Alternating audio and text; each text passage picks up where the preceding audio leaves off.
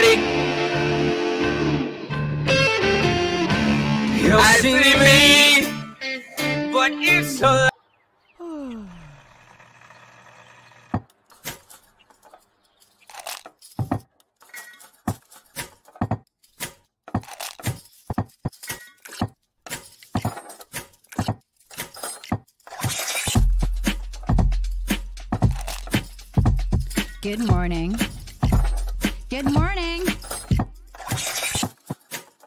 Java Delight will uplift you. Stay tuned. The show is about to begin.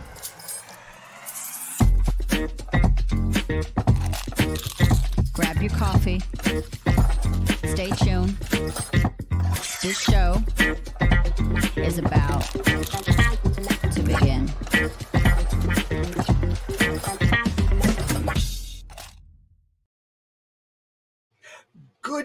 Good morrow, ladies and gentlemen. My name is Brandon Croucher, and I am blessed to be able to start my day not just with the Queen of South Africa, the Queen of taming sharks, the Queen of teaching giraffes how to stretch that extra inch with their neck, but I'm able to spend my morning this wild, wacky Wednesday with all of you. And I am grateful for that. So thank you all for being here today and coming in and starting the day. Miss Ilse, I think you just lost your internet. Are you okay, sweetie? Can you hear me, Miss Ilse? I don't think she can hear me, ladies and gentlemen. Elsa, it is good to see you. You are a beautiful soul, and I hope you're doing well. Ladies and gentlemen, thank you for tuning in. My name is Brandon Croucher. Today is Whip It Out Wednesday. Woohoo! Bob's favorite day of the week, the Wonder of Women Wednesday. Elsa, how are you? You look like you're back now. Can you hear me? I'm going to take that as a no still. oh, well, we tried. So, ladies and gentlemen, thank you for tuning in today. Today's going to be a wonderful day. We have a whole bunch planned. We're going to be doing, we have a guest coming on who writes for Sports Illustrated, even if you're not Whiskey Wednesdays, Wine Wednesdays. I could see you. Can you Can hear you us? see me? Can you? Can you hear me? Because my internet is horrible. It's horrible. So I'm trying my best, guys. You're good. Can you hear us? Hello. Uh, don't worry, guys. I'll do sign language. If nobody knows sign language, it's okay. We can hear you, Ilse, but you can't hear us. It See, this is fun. It, Every- says- it doesn't show that I'll, we're live. I'll just. it, it does show that we're live. live. We are live. Okay, my computer is so frozen right now. So maybe I must just restart and then we start again. How's that? Can you hear that? There we go. I don't know if she can see that comment. There we go. We're starting over. All right. So I'm seems she cannot hear us. I, I see that. Now, Mama Gotti, I am loving your comments this morning. You're making coffee, watching the clock count down to hanging with Java. Love it. And then my favorite is not even a few comments later. Ah, I set my coffee and forgot to plug it in. I hate when that happens. Resetting the waiting. That was funny. I literally read that and laughed out loud for real. Uh, Stuart Lone Wolf, good morning. You're saying good morning to Bob. It's welcome to weirdo, all the weirdos to wild, wacky Wednesdays. I love it. Uh, good morning from a very cold northern Colorado. Uh, from there, everybody else is we're just chiming in and all that. How is everybody doing today? What have you been up to? How is your day going? Are you guys running around? That was that was so my sentiment. Nailed it. Mm, got it. That's my favorite thing to do. Love it. Uh, today's guest is actually going to be really fun for everybody because he's actually a Sports Illustrated writer. But the funny thing is, his writing that he does is not for sports. The writing that he does is 100% just for the people that like.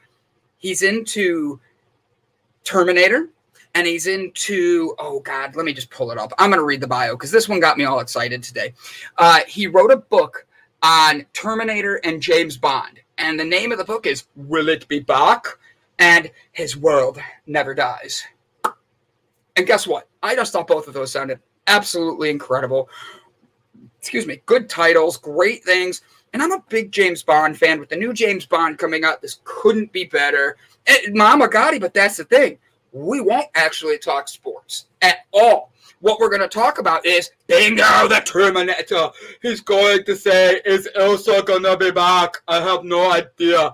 I don't know where she went. Maybe over there. Maybe over there.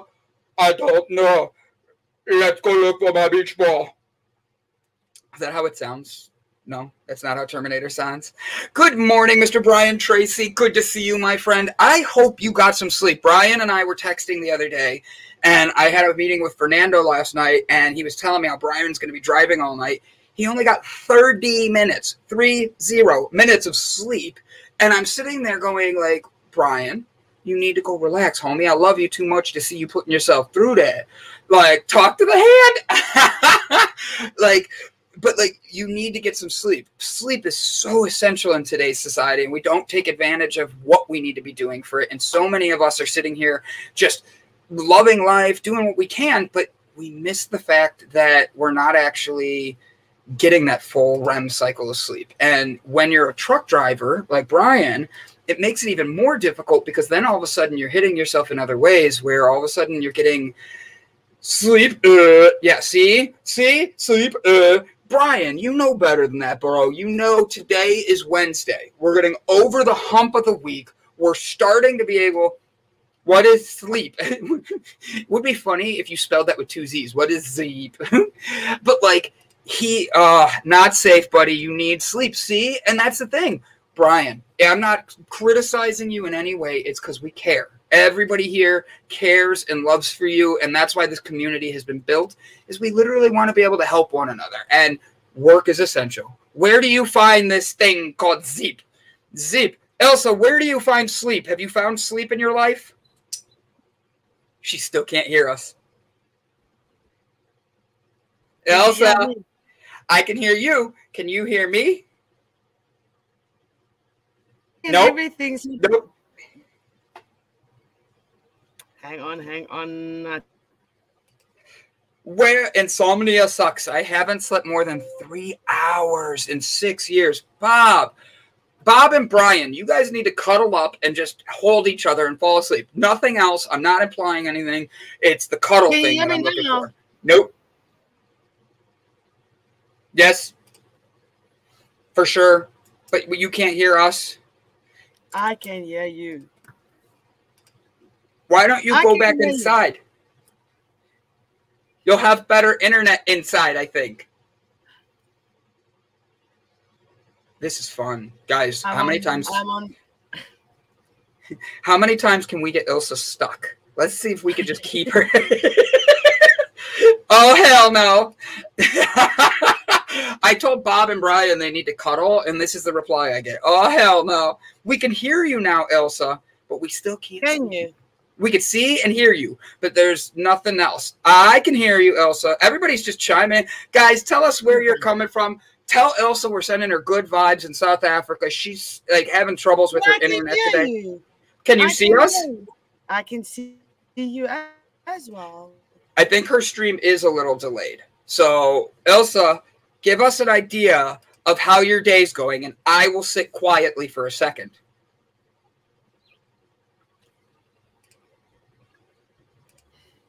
See? My gave her a day is wonderful where where we are.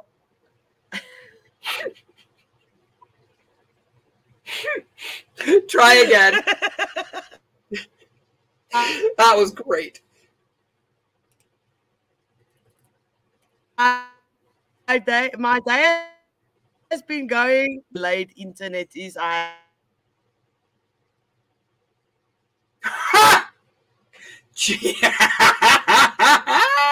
so a 45 second delay. Yeah, that's what I counted. I was we're right Okay, about so- there. If, Elsa, what if you went inside? Things you can say about your internet that you can't say about your boyfriend.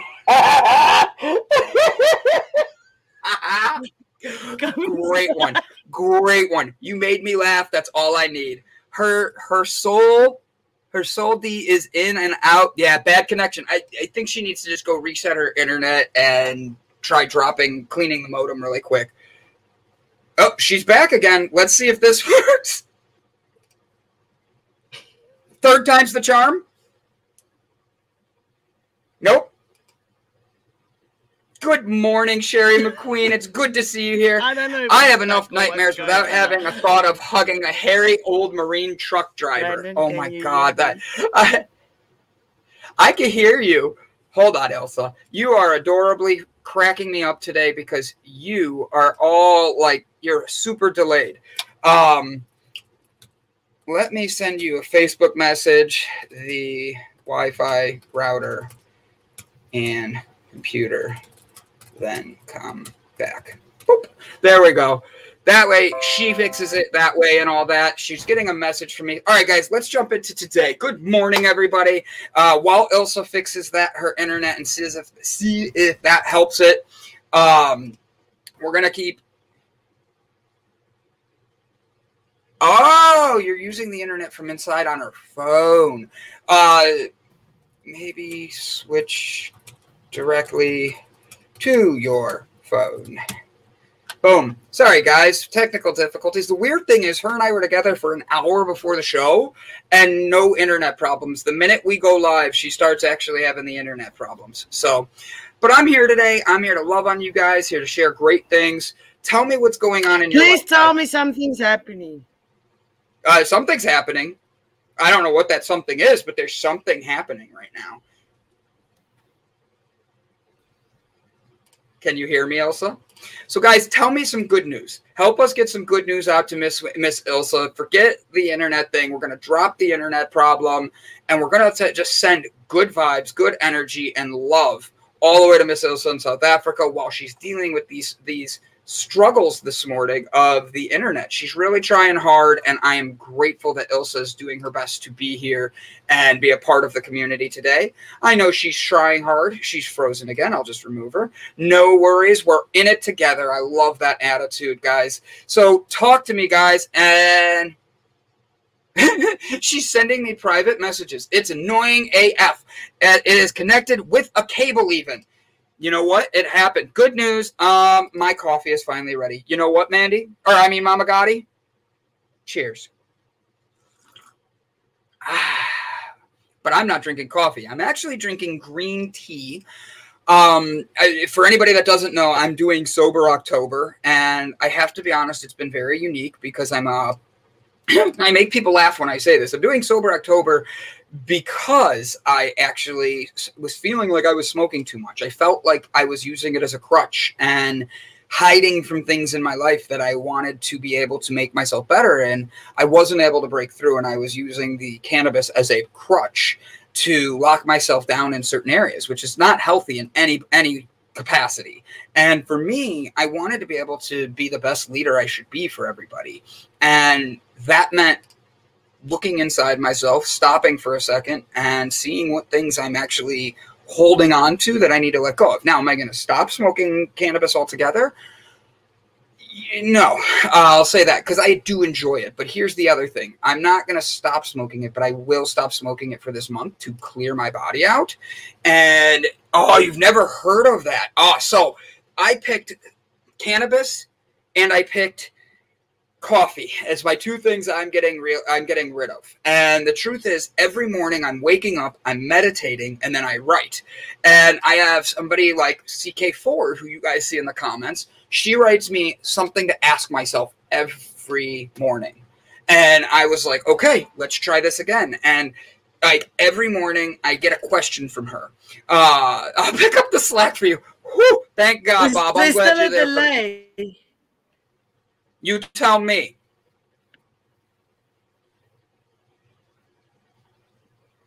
This is horrible.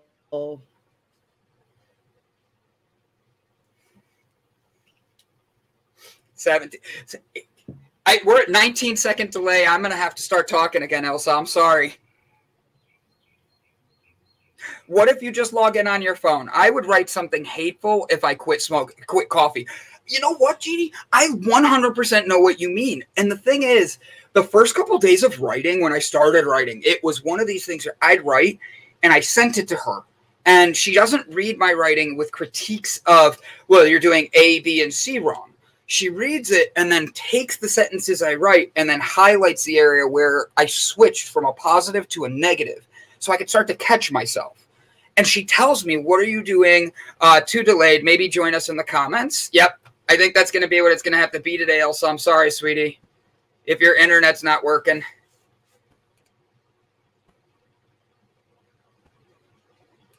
So she's going to try one more thing on her phone. And then if that doesn't work, we're sending her to the comments. And that way we have no more delays. And I'll just screw around with you guys.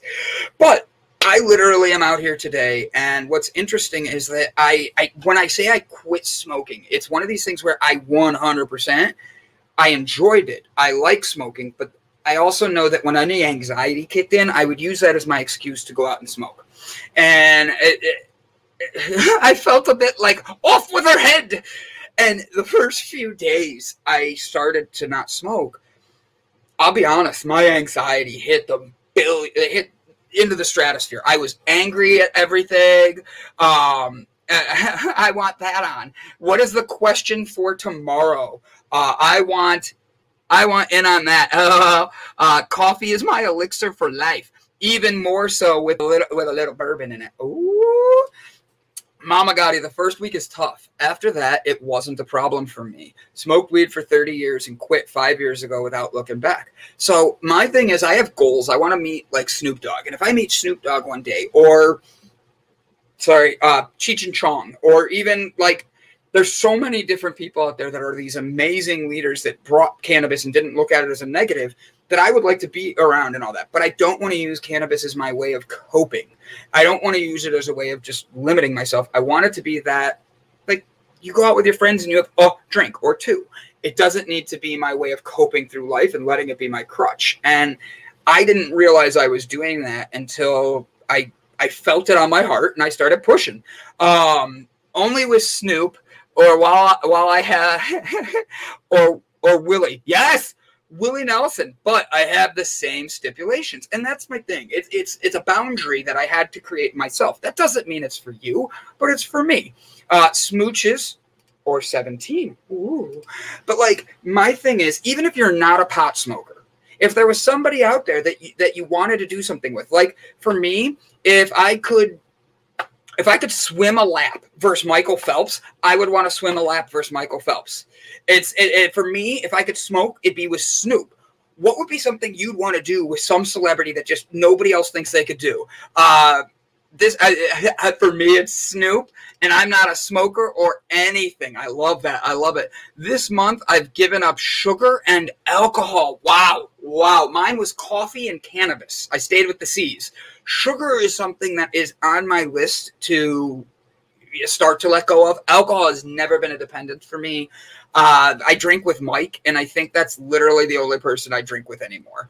Um, everybody else, I, I, I, I, just don't. I don't know why. I, I've stopped smoke. I've stopped drinking, and it's become a lot more of me being able to focus on me and the drinking was never a big problem. I don't know why. Um, i felt my just say no t-shirt being torn from me when i ordered cbd see that's the funny thing. I actually you want to know the rate that this month i've given up money I didn't know we could give up money, but I appreciate the honesty. Uh, is it the love of money, or is it the love of, or is it you've given up money like well, you don't have any? Because I feel like that was me for a while there. Is I gave up money, but I didn't really want to give it up. Um, I hear that. I have Xanax, but I have I, I, hate swallowing pills. So weed has always been the way to kind of balance myself.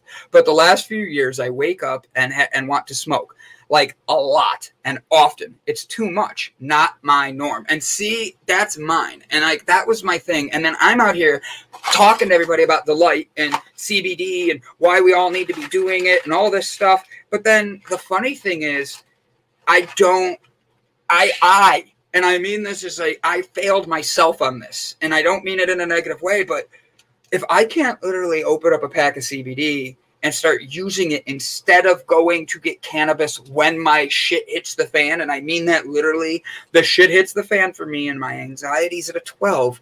I need to be able to rebalance myself.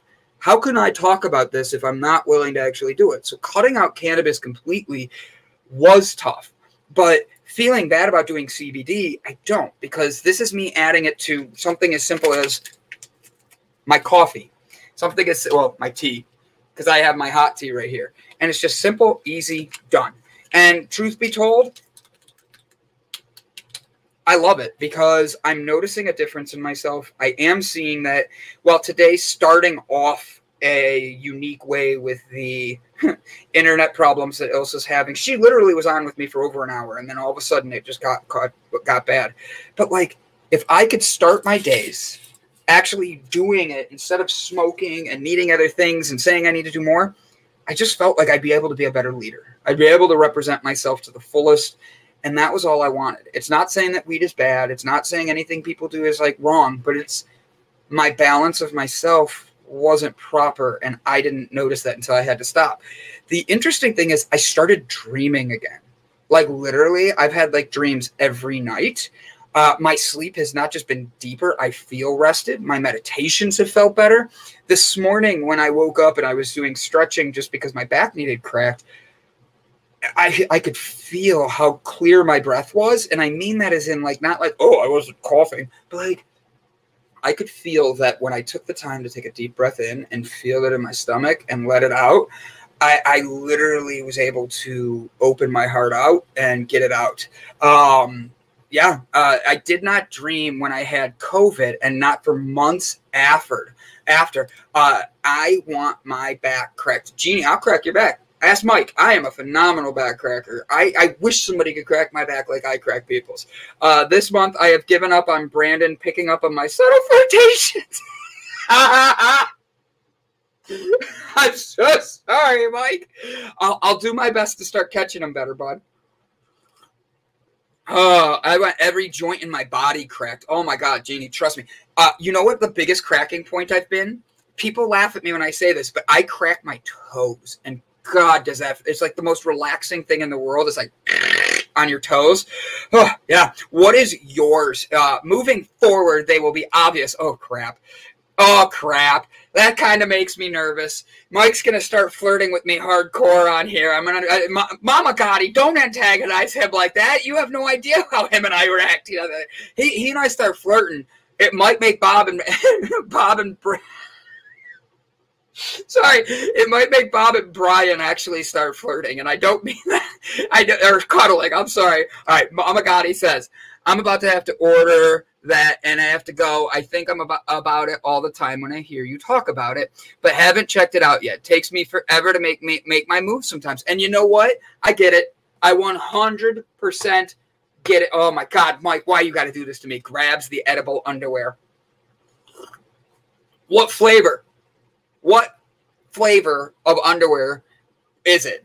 Good morning, Shauna Jones. Uh, I may have given up a habit of. I may have given up my habit of caught into windows. This is gonna get good. Morning, Mama Gotti. Mike is satisfying himself having fun. Oh wow, that came out wrong too. Oh my God. Uh, oh, Ilse's back. Give me a second, Ilse. I have to open up Facebook now. I usually only have the show and the link for the, the person up there, but today we're having these technical difficulties. Let's try it again.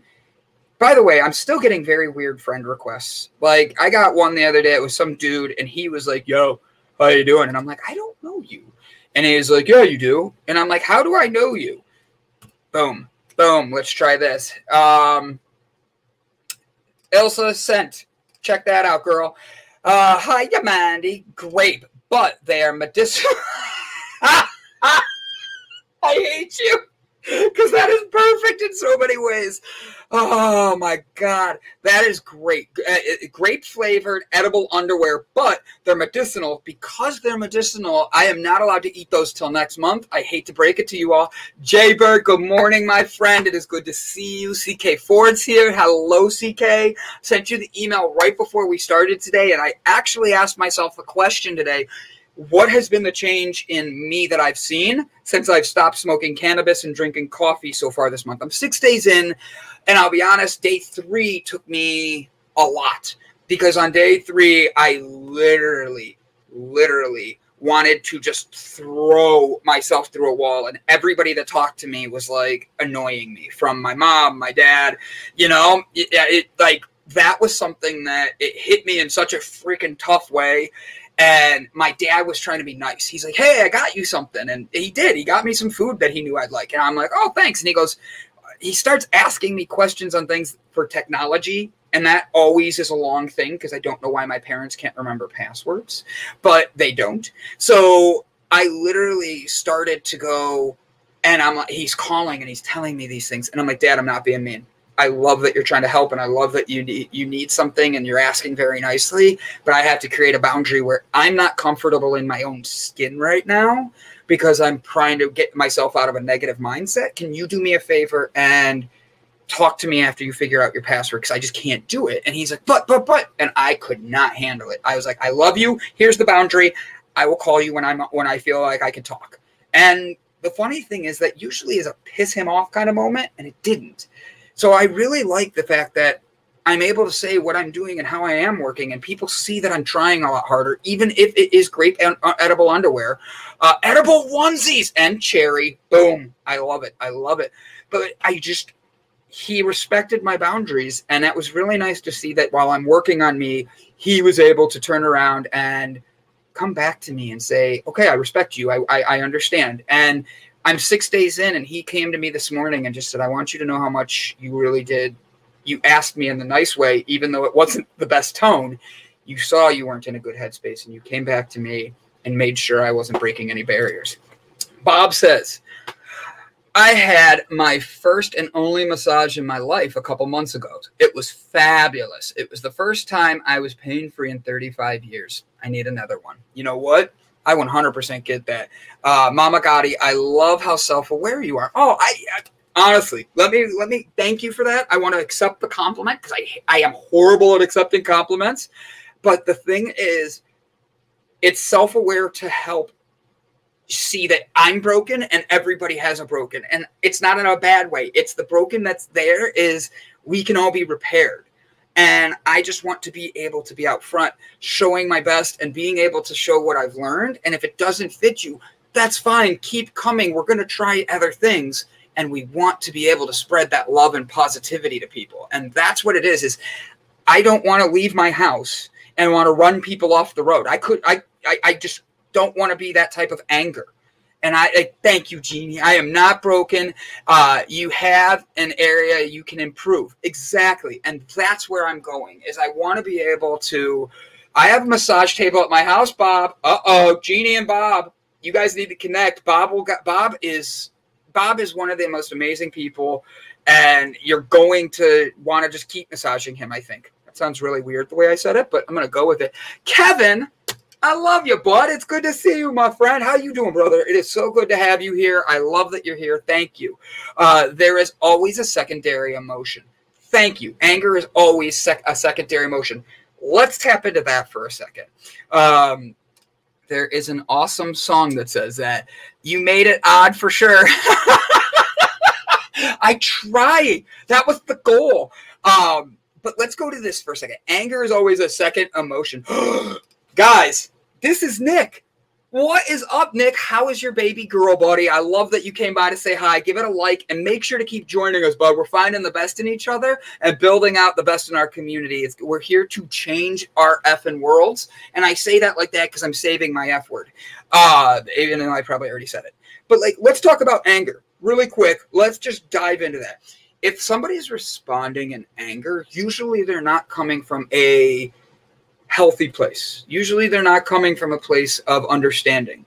And hi, Nick. I love Mama Gotti. You guys, you just make me smile. Uh, broken is final. Broken down can be built back up. 100. Kevin, you are awesome. Thank you, buddy. And then, Bob, I've been praying for you daily, and I feel like you are going to have a major breakthrough in a lot of areas. I think that doing Sober October is part of the process for your breakthrough. Thank you, Bob. It really is. And my breakthrough is nothing without my community of people that want to break through in their own self. And I, I say that, and everybody's like, why do you care so much about people? It's not that I care that others are there. It's I care that others want to care about themselves.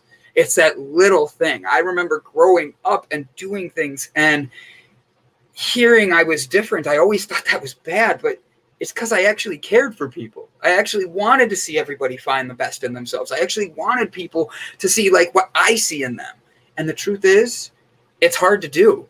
And anger can be a righteous secondary emotion. It is. And I, I, how do you care? How do you not care about people? I do care about people. I said I do care about people. I don't care that I care about them individually. I care about people like, like Nick. Watch this. You ready? Nick says, I don't know if you know this, buddy, but I also have a baby boy on the way. God, that's awesome, bro. I, I met Nick and he was not even dating a girl. And then he started dating this girl and he fell head over heels in love and he met her. They had a kid. They're having their second kid. Nick is a young man who is doing everything in his life to make his life better and change it for the better. That is what we're about. And I love that he stopped by today. I think Ilse might be back. We're going to try it again in a second. Uh, it's a heart. You have an amazing heart with a gold and a golden heart. Bob Seymour coming from It's how working. far? It's working, guys. We have our South African. Yay! Yes.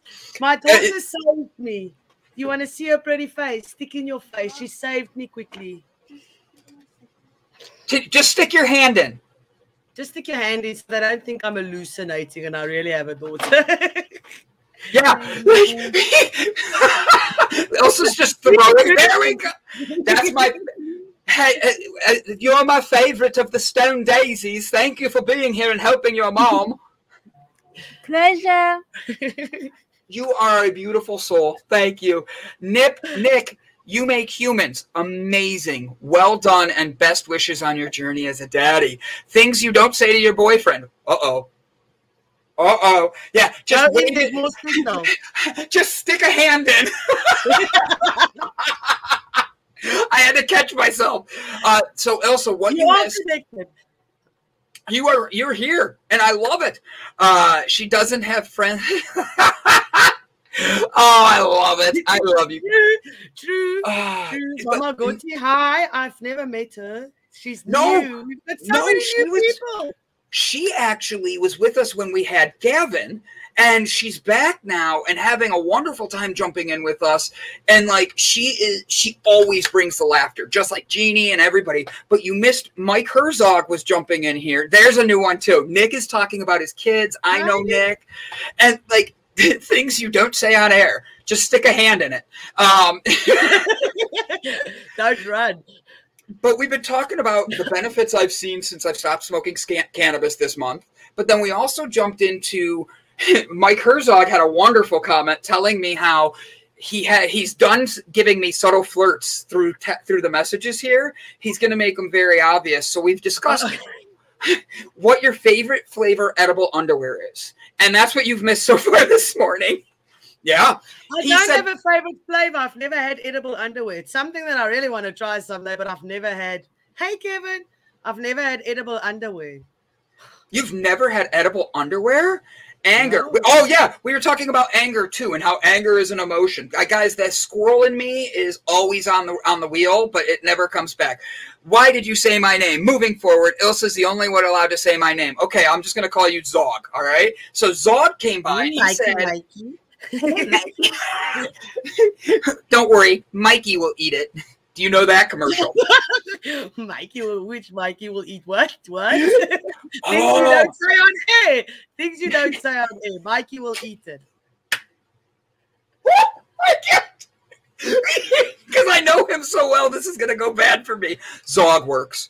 I love it. I love it. I definitely need to stop at the closest store that sells them, laughing my ass off. Like, for real. like, all right, edible underwear. So let's do this. My favorite edible underwear was cotton candy flavor because it was just sweet. It played away, but I don't know if I really. Mikey likes it. Even Jeannie's laughing at that. Things you don't say on air. don't worry, Mikey will eat it. Edible undies with fancy fruit roll-ups. Uh, yeah. Oh, so anger. I'm gonna go back to anger, just because otherwise I'm gonna get stuck on things I shouldn't be saying on air. Oh, and save money. Can you imagine sending your kids to school? Nick's watching. He's a young father, and he turns around and he's learning about these things. And he's sitting here going, "Oh, edible underwear. Oh, why don't we just turn them in to save money? I'll take mom's edible underwear and turn it into fruit roll-ups." Could you imagine your kid opening a box of edible underwear at school, being like, and eating the phone? No, no. That's a good Secret Santa gift, though that's a good Secret Santa gift. But I, all right, that's that's a funny one. Read. I don't know what read is. Read. Edible underwear is just fancy fruit roll-ups. That's why you say read. Uh, uh, so they, we want to dive into anger because we have a few minutes before we got our guest coming on, and I've already tagged in on the guest a little bit because I wanted to make sure I made sure everybody knew who we were talking to today and how cool this how cool he is. So anger is not Anger is not a negative emotion. If you can harness and direct it into something positive, a men, a f and men, and I because I'm saving my my f word. Yay, anger! like I uh, get excited to get pissed off with somebody. He's about to run out of fruit roll-ups. Oh my god, you guys are snack packs. Oh my god, I'm dying. Oh, Grant, well, welcome, Grant. We are glad you are here. I love it. So I want to dive into the, the. so funny. I like snack packs. Oh my god, that is so inappropriately funny. I can't help it. Like that, that, so, that's uh, not a first date gift, hey. That's about three dates in. edible underwear is a third date gift. So yeah, so not first date, at least third date. So wait, wait, wait. Just so I'm on the right page, edible underwear is a third date. Your first date uh, should be what? Flowers. Second date, candy. Third date, edible underwear. No, is that what I'm we're not, going with? I, am not a big flower girl. Um, I believe people buy flowers. Well, the people that bought me flowers usually just did something wrong. That's the only reason they bought it. so I've got this negative thing about flowers you can buy me food. you can buy me food. Oh, that's actually a fair question, Ilse. So, what if what? somebody bought you dinner? Do they need to get you something else, like a flowers and all that too? No. No. She's like, no. Give me good conversation and food, and I'm happy. I, honestly, yes. Now, Stuart hit a good point, and we're going to tap back into the anger thing really quick, okay? So, redirecting your anger my redirecting of my anger, you know where it started? Uh, no, no, no. We go straight to the underwear. Yep, we skipped the goldfish, went straight to the underwear. Uh, if you bring edible underwear on a third date, I would hope you bring flowers also. What if they're edible flowers? That can work. Yeah. You Anything know? that's edible, it works for me. so redirecting our anger. Um, when I redirected my anger, the first thing I had to do that I learned was I actually had somebody buy a punching bag and they're like, hey, do you want to come over and hit it? And I did. I went over and beat the crap out of this punching bag. My knuckles were bleeding, everything. Like my hands were bleeding, but it felt so good to be able to put that anger out. And I did what, like within 20 minutes, I wasn't angry at the situation I was at. But then later in the day, when it started to come back and re trigger me, I went back out there and I beat the crap out of it again. And the thing is, it Bob, I can't get distracted on this. We're not going back to edible underwear. I, mm, see, it made me want to hit people, but that's the thing. Have you ever noticed? And I, I, I'm tapping into myself on this one for a second. Have you ever noticed? Because we're going to talk about James Bond and Terminator. Did you ever see James Bond have anger? Did you ever see the Terminator? Be, he got angry, but he took care of it in a healthier way he was like, I'll be back. And he came back and took care of it. and I literally, I say that as a joke, but think about that for a second. Bob, Bob, you're distracting me, Bob. but it's one of these things where that anger being replaced. Stuart made a comment about cleaning, and that is something my mom and dad, Sarah, anybody I've ever lived with loves when I'm trying to replace my anger into cleaning because the OCD kicks in. And then all of a sudden, the entire house is spotless and looks amazing. But I also say when I'm angry, sometimes you can't go hit something or you can't go get a workout in and you have to find a new way of doing it. Um, Nick is dealing with two kids. So let's use this as an example. When I'm angry, I draw, but I don't see, I don't get angry often. I usually know how to control it. If it find your inner peace, hundred percent. Okay, but I want to ask you a question. Why do you decide to get angry? because Who, it's me? a decision you make. Anybody, it's a decision you make. He who It- angers you controls you. So, so, so, so, so, um, I, I, I, I, I just get angry because I don't get angry that much. So, but I don't get ugly when I'm angry. I will just breathe and then stand my ground. So I'm not rude or anything, but you're allowed to get angry. Why don't you want to get angry? it's not the anger. It's so let's say I get angry and I apologize for what's about to happen. Okay, because I know I'm loud. Mm-hmm. All right. But if I all of a sudden come at you, I'm like, you son, you son of a and I'm yelling at you, how does that feel? It puts you on the defense, it puts you with anger. But if I find my inner oh, anger is such a fight with guilt to me. I agree 100 Dave. I- mm-hmm. like like I one of these things is when anger isn't usually a decision staying angry is. And that's the thing, that quick anger thing, that thing that comes out that you're like, "Argh!" like you just you need you, you're mad at somebody and you want to get that mm. out. If you're able to catch your breath and recenter yourself 100%, that is awesome, but that doesn't work for everybody. And I know men, especially when they get angry, it's a quick response of like, I'm gonna get, I gotta, I gotta get even. I play pranks on people. If they play prank on me back, does that mean I get angry or do I get even? I stay calm Even. and I think it out and I get even. Now, Ilse, when you get angry, your kids act up, Nick's kids act up. Are you going to tell him spank them in anger? Or are you going to say, hey, no, Reset yourself. no. see, anger See, I, I, I, trigger that? I used to be one of those people that let other people's um, actions and stuff dictate how dictate how my day goes. Because once I'm angry, in, in the past, I used to just overthink the whole day and be pissed off the whole day. Um, Yes. and, and, and, and, and I have, especially working with the, the boss that I have worked with, there's a lot of things that, that, that I wanted to, like when they say something, act in anger. I'm sorry. I'm laughing at people's comments that I don't know if I should bring in or not. Now my underwear just welted to my area. Now I have grape nuts. I read it and couldn't help but laugh. And then this is my ex, and I, I know where she's going with this. Uh, it's a complicated question from him, Ilse. He will be angry at A and turns it into a domino effect. But you admit, Sarah, because you've said this to me too. I've done that so much, but I've been able to restructure that and find where I'm actually angry at. And when I'm angry, I have to find that other way. Um, You see what the trigger. The thing is, you have to see what about the action or the person's words. Bye, Jeannie. Um, or the person's words or, or the situation. What is it that make that triggers you to be angry? Is it the way they speak to you? Is it because you thought it was going to go a different way? Because once you get angry and you you realize you get angry, you're allowed to get upset. So don't Yes. let people walk walk all over you, but but definitely see where where what it triggers, what triggers it. Because I I also used to be very very angry. I used to be an angry person. And that's the thing. We are allowed to change, but the way that our change happens is by starting A with ourselves and not letting others that know us in the past, like my sisters. My sisters have this Sarah, I love you to death, Sarah. You know I say this, but like I, they have this view of me from this anger point.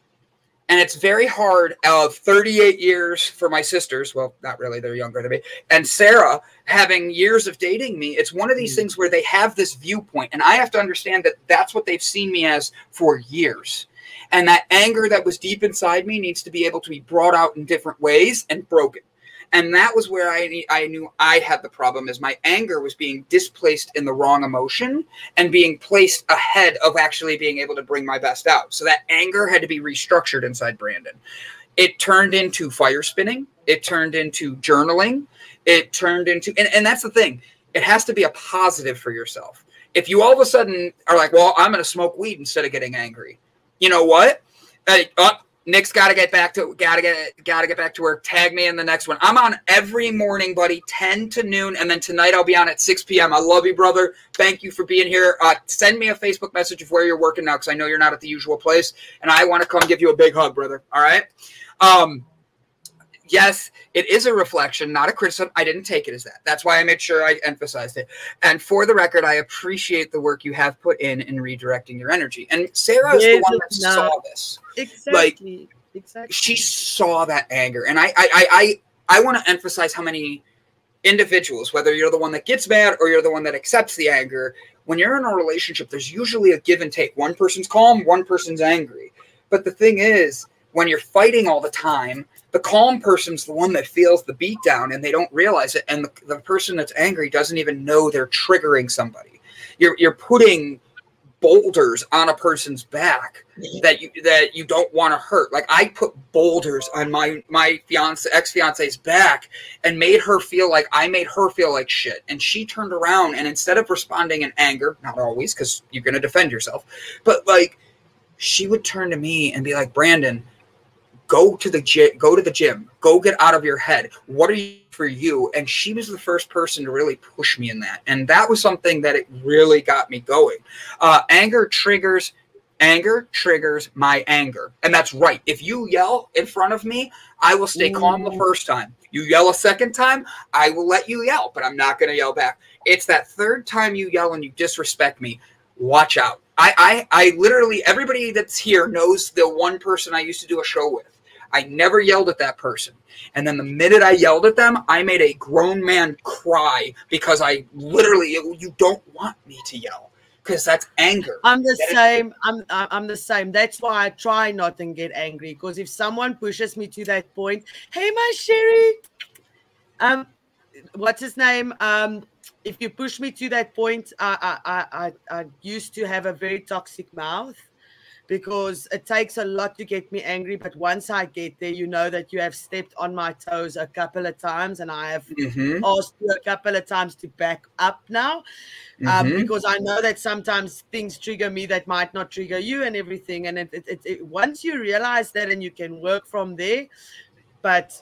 I'm not the same. I will shout at you if, if, if you if I've warned you. Yes. yes.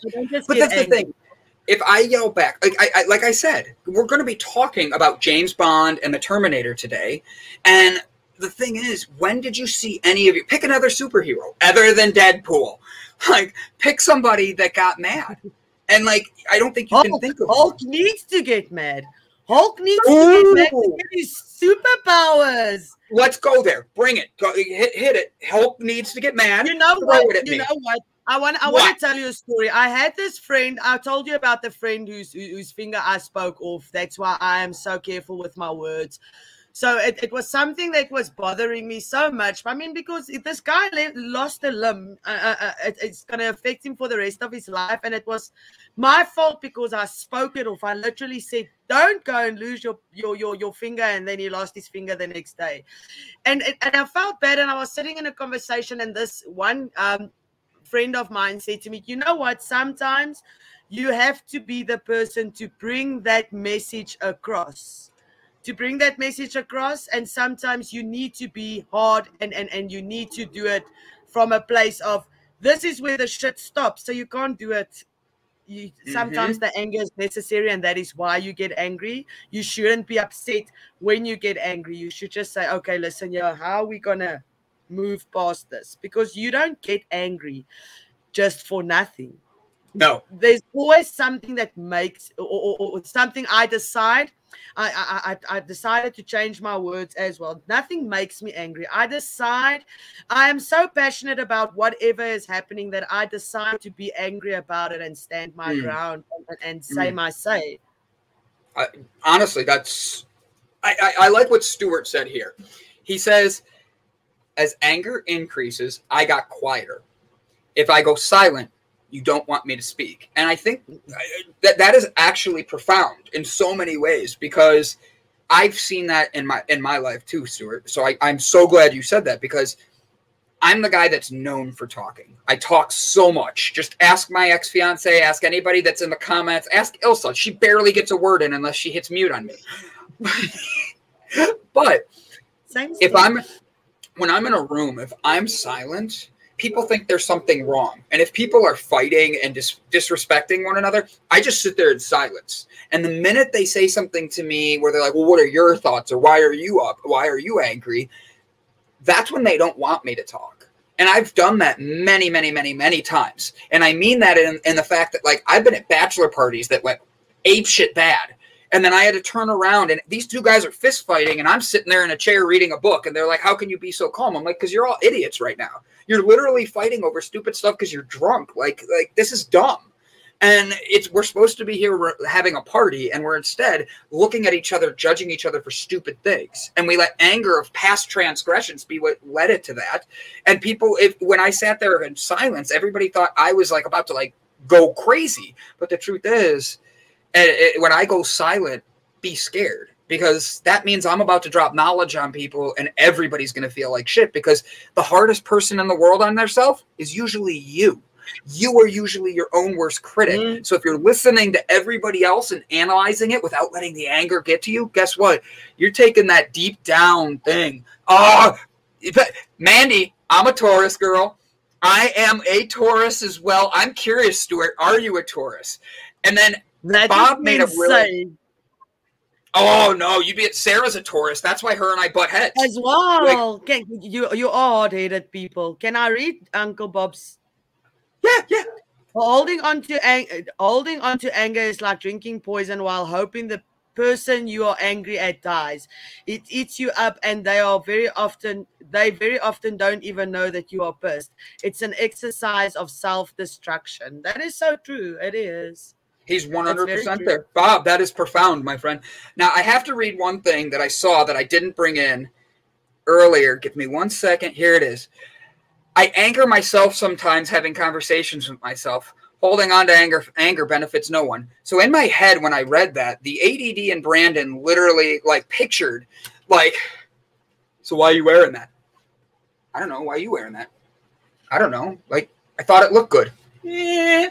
Why you got to be so hard on me? Why you got to be so hard on me? Like I pictured me having that conversation with myself, and it did not go well needless to say, I'm very glad that I, I took a shower. I put a black shirt on to feel thin. Whoop, I'm thinning. I've also got we we we twinsies today. We match actually. We do. So we can walk down the street and we look so pretty. We do. We walk right next to each other. Ready? Also, let's do our our catwalk. Ready? Okay. Okay. Let me just make. I just want to move my transport. oh my god, that was funny. Ready? Do you do your model walk? Just do to like how you teach the sharks how to swim. Well, that's different from walking. Mama Gotti says she's a Scorpio, loyal to a fault, but my daughter's a Scorpio. She's now on the eighth of November. Oh, I see it. And then Stuart says, for me, perfection is not high enough standard. I also I am a Virgo.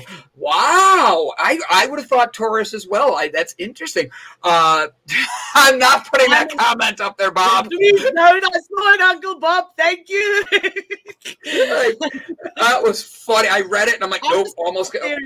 I'm a Sagittarius. No. So we just love, love, and love people. Are you also the November the 8th? Oh my word. Yes, my daughter will be turning 20 on the 8th of November. Good people. I love you, Mama Gotti. you guys are now best friends. Like you just I became know, right? It. by the way, Mama Gotti's my favorite too. Want to know why? Brandon. Oh, she's a Taurus. She says you're looking no, amazing, by the way. Yeah. Oh, have you been uh, working out more or something? Ooh. I lost my beach ball. It went over there. or over there. I don't know. uh, yes, I've actually, Mama Gotti, it's been sober October. Uh, I work out and I journal a lot more. So it's taking my mental health, my dietary health, and my alignment of myself and being able to step up, show you, show up every day, daily, and be able. Oh, thanks, Mama Gotti. Brandon, you are a doll. I thank you.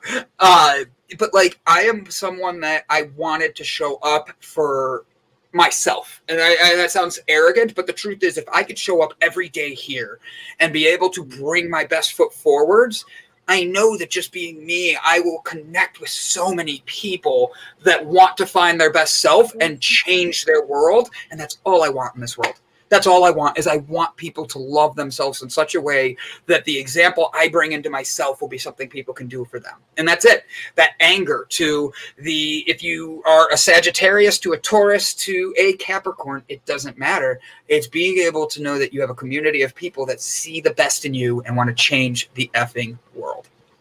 Thank you, Mama Gotti. Uh, you are really inspiring to me as well.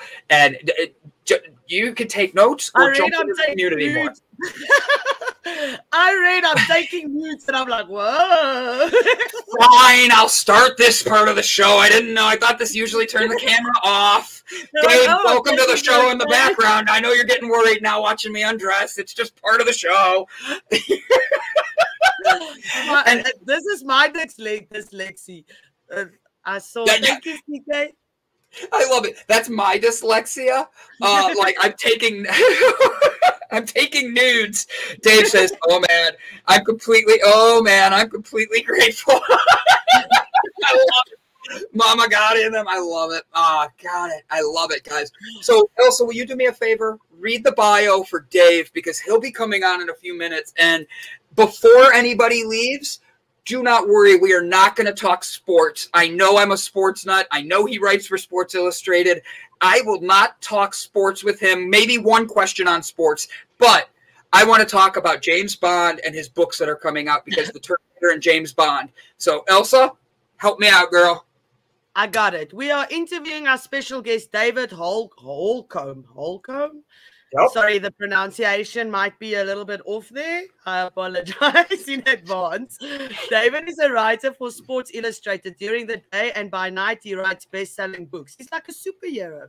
As mm-hmm. a self-published author, he's published two books analyzing this James Bond and Terminator film series. Will it be Buck?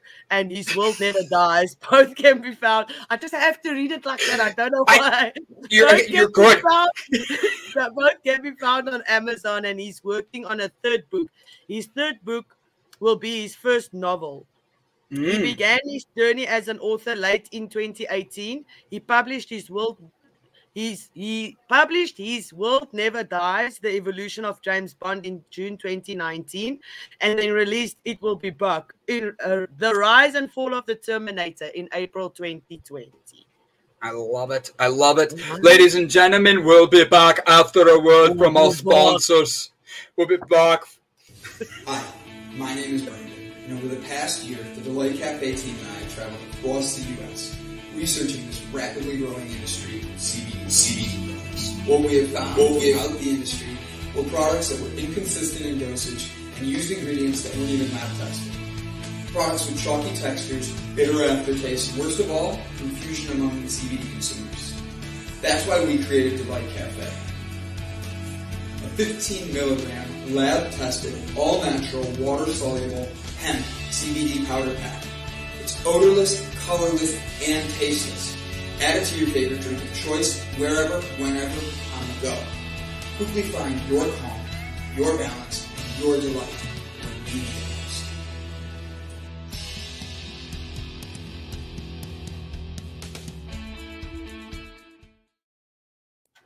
And we are back with the one, the only. Hold on, Dave. Give you the big screen. Boom. The one, the only. Dave Holcomb. He's here to teach us all about what it is like to be a Terminator.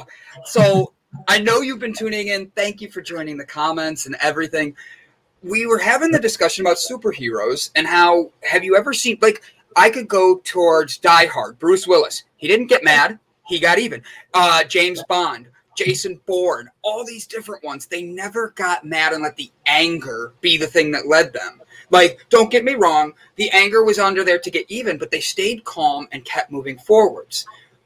How do you displace your anger in a, better, a better way, Dave? Because that's been our topic so far today. So since we're going to be diving into your heroes, let's dive into that too. Um, I have a treadmill downstairs that gets a lot of my anger. So um, when I'm upset, I run as fast as I can for as long as I can, and that's that's how I get it out.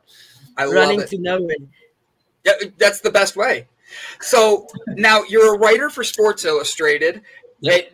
everybody say, they know I'm a sports nut.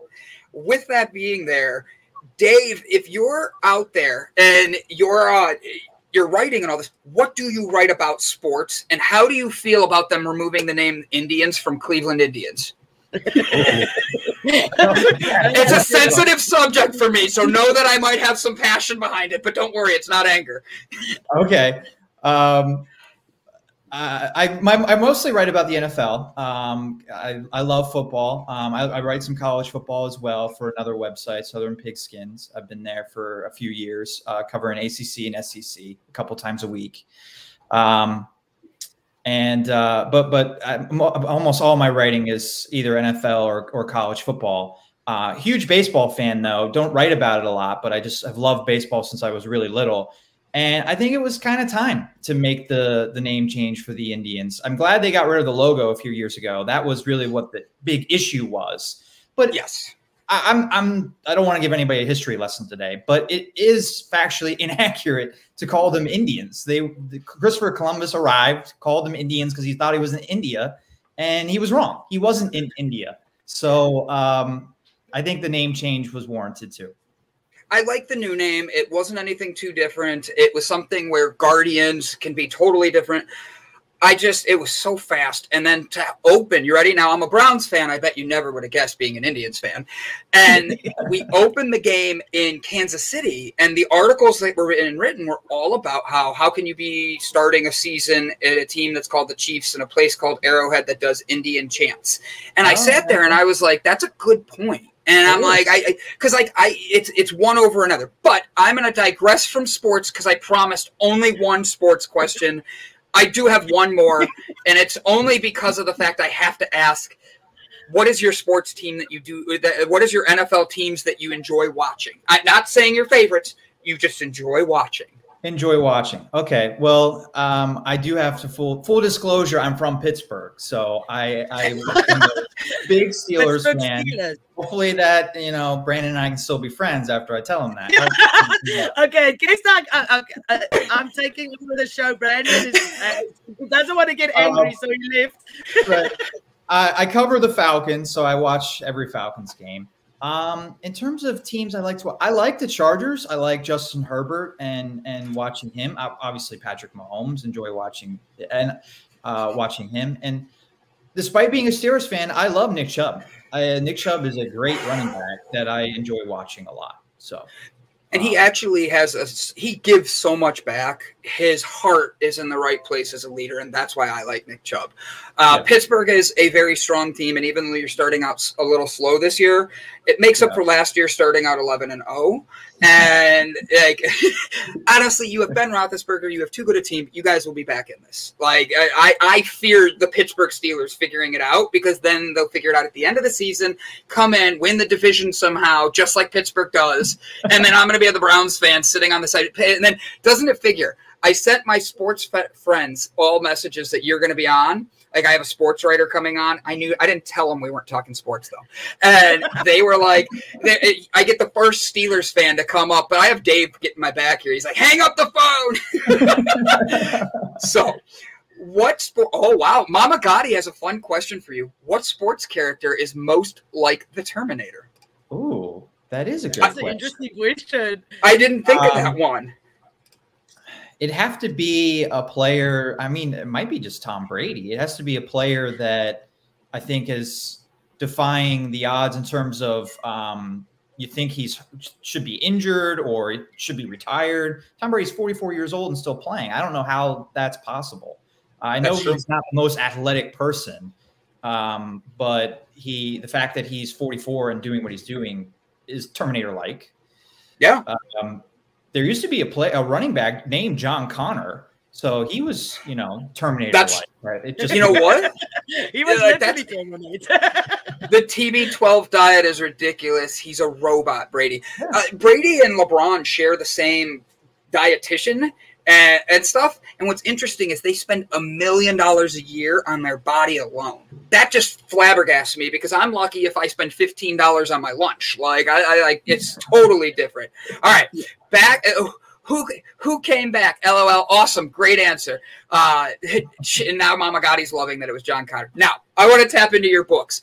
You might be a sports writer and you might be in Pittsburgh, but in all seriousness, how how did you come up with these books and why did you decide to write books about like about these superheroes and i say superheroes like that right yeah um I, when my uh, my then fiance, we're, we're now married, uh, my wife and I, a few years ago, when, when she first, Thank you. Uh, when she we, we, first started living together, um, I'm a bit. In addition to being a big sports fan, I'm a big movies fan. Um, I have lots of DVDs. So we're going through my DVD collection, and um, she really had never seen James Bond before. I think her James Bond experience was playing GoldenEye with her brother on like Nintendo 64. So she had never really seen the series. So I was showing her some movies, teaching her about it, kind of realized that, that I really know a lot about it. I've watched the movies over and over again um, and thought I have a lot of this knowledge that maybe somehow I can pass this along or reach out to other Bond fans by doing something for the Bond community. And I thought, oh, I'll write a book, but I thought it would happen, you know, 10, 15 years down the road. And then I kind of did some researching into self publishing and thought that it was a realistic goal to do it right away. And that put me on the path to publishing the first book. And then I came up with the idea of doing a similar type book for Terminator, but kind of the opposite. The James Bond book was why it's remained popular after 60 years of the first the first movie. Terminator, the new one came out in 2019 and really didn't do well, despite being, I thought, a pretty good movie. So it was kind of the opposite in that why is Terminator not still popular and and relevant in in uh, in, in modern times? I, I I have also not watched all the James Bond movies or the Terminator movies. I am guilty of that. I think I watched the, the, newest, the newest one. Um, but there's one question. I don't know if this is a stupid question, and I am from South Africa, so I'm using my my my my that English is my second language as an excuse if this is a stupid question. On your on your your your your your bio, you say that you've written two books and the third book is going to be a novel. Is there a difference between novels and books? Uh, a novel is a type of book. Is it a type uh, of book? What I think. If you have to explain to me, because I have no idea. Because when you said that, I was wasn't sure what the she, difference is.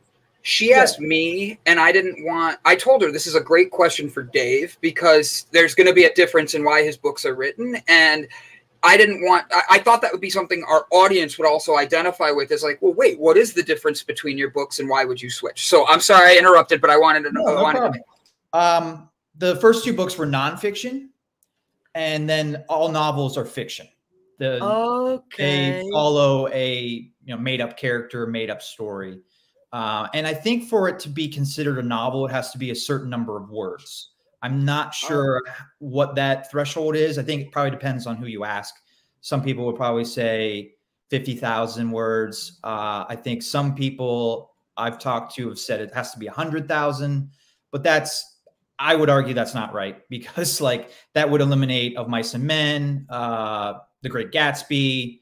Lots of great novel, classic novels are not 100,000 mm. words. And you would be criticized in the writing community if you say The Great Gatsby isn't a novel. So um, I don't think it's that high of a threshold. But it has if it's if it's below whatever the threshold is, then it's called a novelette, which is also a fiction story following something that's made up, but it's just a little shorter than a novel. Okay, awesome. Thank you so much for that explanation. I understand better now. What life lessons have you heard have you learned from the characters that you wrote the book about?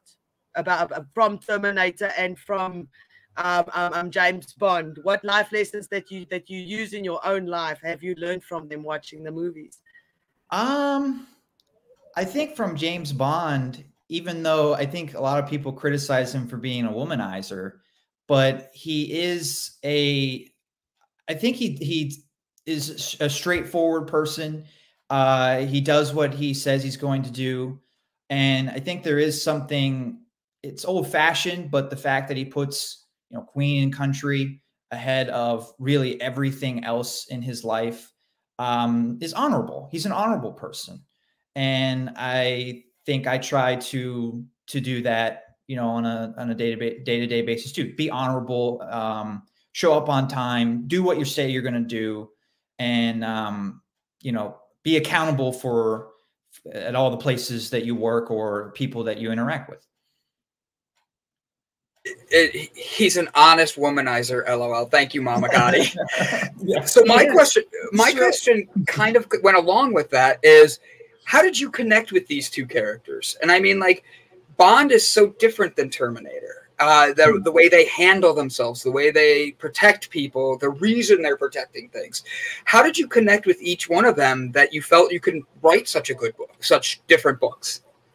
Yeah, um, I, I guess I, I connected with Bond starting when I was like 12, 13, and he was just he was just so cool. He was just the way that I love the the tuxedo. Um, you could uh, we haven't we don't have our wedding photos yet, but I I had exactly the same tuxedo that um, James Bond wears, the bow tie, the black and white. It just he his demeanor, uh, the way he dresses, it, he's just he's so stylish, he's so cool, um, he's so debonair, and it's I I'm not particularly like that, but it's a fantasy. It's a fantasy of I wish I was more like him. Terminator is a little different. I think what I um, what attracts me to it. Um, I love the time travel. I love the um, especially in the first movie where they talk about they the Terminator is the robot is the you know the not human character that's isn't doesn't act like a human. He's trying to to murder and kill and um, that is so bad. But the movie explores ways in which humans are not human as well, where they're closer to, they're distracted by technology or they're also murderous and and not always uh, the most human um, of of people characters. So I, I it's it's yeah you're right it is very different. I, I think Bond the character is what gets me into that series and Terminator I'm attracted to the the time travel, the sci-fi, the the action, great action in Bond too. But um, I guess those are the, the two differences. Uh, your favorite Bond actor? Which one do you prefer? I was thinking Craig? about this last night because um, I still love Sean Connery the most. Oh, um, me too. I love him. I love him. yeah. Um, I I'm I'm old school. I I love the the old movies, but the new ones are great as well. I think Daniel Craig and Pierce Brosnan are are pretty much tied for second for me right now. And that's that's a big deal because I did not like Daniel Craig at first. Like I did not like them bringing in him I didn't like that he was blonde. Uh, there was lots of stupid reasons why I didn't like him at first, and he's really grown on me to the point where he's he's up there with my my you know in my top three. And and and I heard a rumor here in South Africa. I don't know how true it is that um, they are looking at casting Idris Elba as the next James Bond. That's a rumor. I, I don't think they really. There's nothing concrete who who would be next. They typically don't like to fill the role until the person that's currently Bond has officially left. And that'll happen, you know, when this movie comes out and is out for a month or two. Then there'll probably be a lot okay. more concrete rumors to uh, who will be next. But that he's been a popular name among you know the rumor circles of who could be the next Bond for sure. And I think he'd be good. Uh, yeah, I actually was going to say I think so too. Uh, would Bond? Do you think James Bond would notice if his martini was stirred? so I, act, yeah, he's, he's that um he's that high class, I guess, that he uh I think he notices the fine differences, the details. And he's a spy, so he's all into the details. But why do you think they say he's a womanizer? Because the the the, the ones I've watched, he's you, not he, he, you get her, Dave. As, as, he has them as partners. He, he, I don't think he's a womanizer, so maybe I'm wrong. Yeah, so I would like to know why do you think people say that? He sleeps with, on average, two to four different women in every movie. Um, so sounds like an average man to me. and he gets paid for it, so he's lucky, and so it must be jealousy. I watched an entire movie two days ago. I didn't get laid four times. I don't know what you're talking about, Ilse. but like, I like. You, are you excited for the movie, the new Bond movie, to come out this week? Absolutely, yeah. I was um, lucky enough; I got to see it early, part of um, the the media release, the the premiere. La- that was last week. Yeah, seems like a long time ago, but it was last week. so I've already seen it, but I'm I'm going again tomorrow on opening night. So I, I thought it was great. Um, don't ask me too many questions. I don't want to give anything away about the movie. No, I don't. But, I don't uh, want to. I don't want to let you give that away. I'm going to see it. I'm seeing it Friday night. I'm actually going to a drive-in movie theater. Oh, cool. It's that and Venom playing at the drive-in, and I'm Oh. like, I'm not getting home till 3 a.m. So it's a double feature. It is, and the drive-in has always been a staple for for me. It's just you could sit outside. It's relaxing. I I, I like the theater, but the drive-in's just different. You get to enjoy it in a different way. Mhm. Um, You still have? Is it like a special driving? Is it like a special place, or do you have drivings all over? Because we have none left in South Africa. They built casinos where ours was. didn't expect It that is. answer. I'm not even lying. I watched. I, I watched Aladdin there when I was in school, and now there's a, a casino. I honestly, so in Cleveland, we have a few different ones.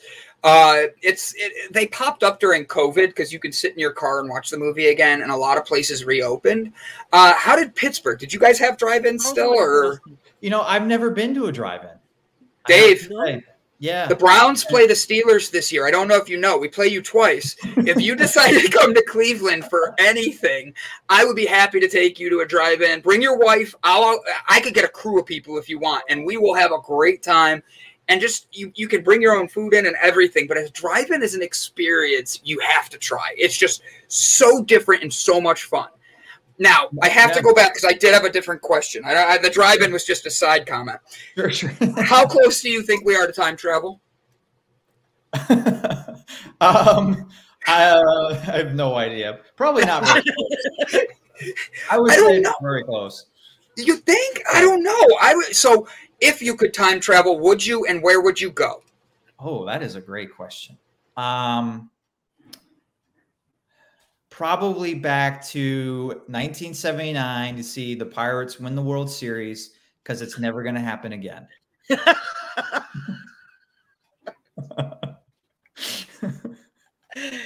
got Uh, nothing. I, I I understand mean, that. I was like, okay, I don't even know. Is it football? Baseball.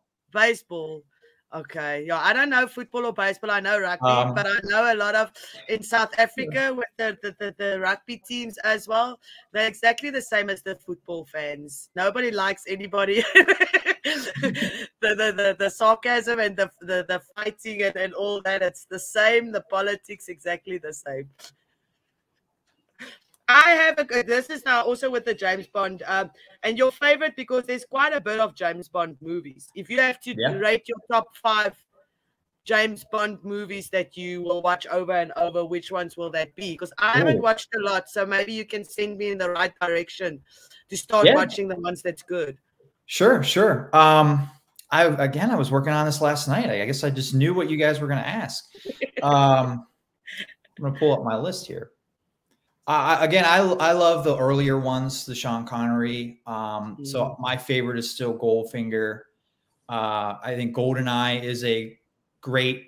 I guess it's not too modern because it's 25 years old now, but it's a it's a classic, uh, newer Bond movie that I would highly recommend to anyone trying to get into the series.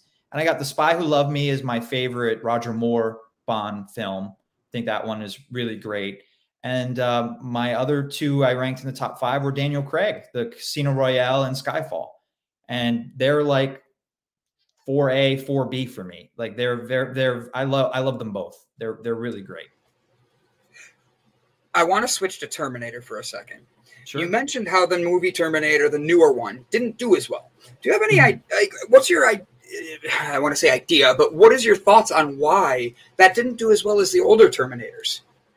I share about a lot of this in the book. Um, I think they the even the third Terminator movie, but definitely the fourth and the fifth weren't that good. Um, so there were really low expectations for the uh, the the fifth Terminator, or I guess sixth Terminator, sixth Terminator, Dark Fate, um, and uh, I think people they kind of made an enemy on both sides of the uh, political divide, unfortunately, because I think they made it a little bit more, um, you know, liberal in the minds of conservatives by having the lead be a female.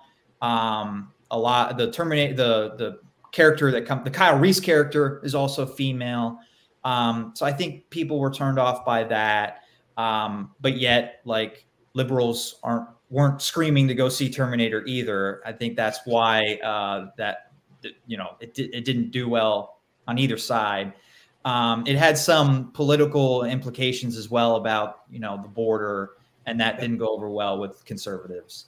So the combination of of a bad uh, previous few movies and uh, maybe angering the more conservative Terminator fan base. Uh, probably those are the two main reasons.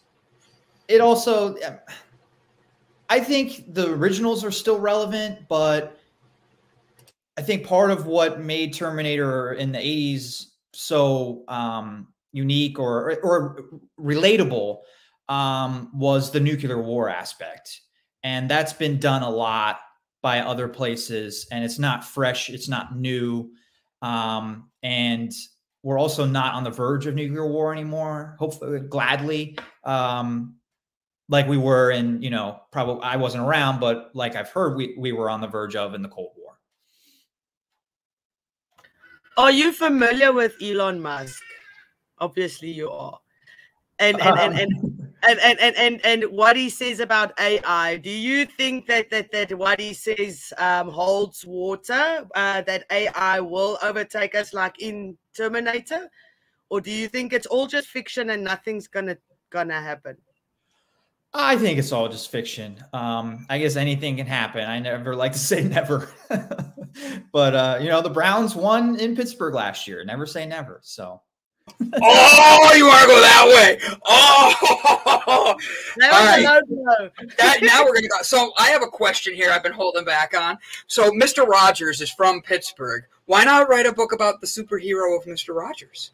Oh, that's a good idea. Um, and that's not a dig. I'm asking because yeah. I actually am a big Mr. Rogers fan because and it's not like I'm like wearing a sweater. I do have a Mr. Rogers sweater, but it's one of those where it's like Mr. Rogers brought a totally different energy to modern TV, and he fought for things for public broadcasting.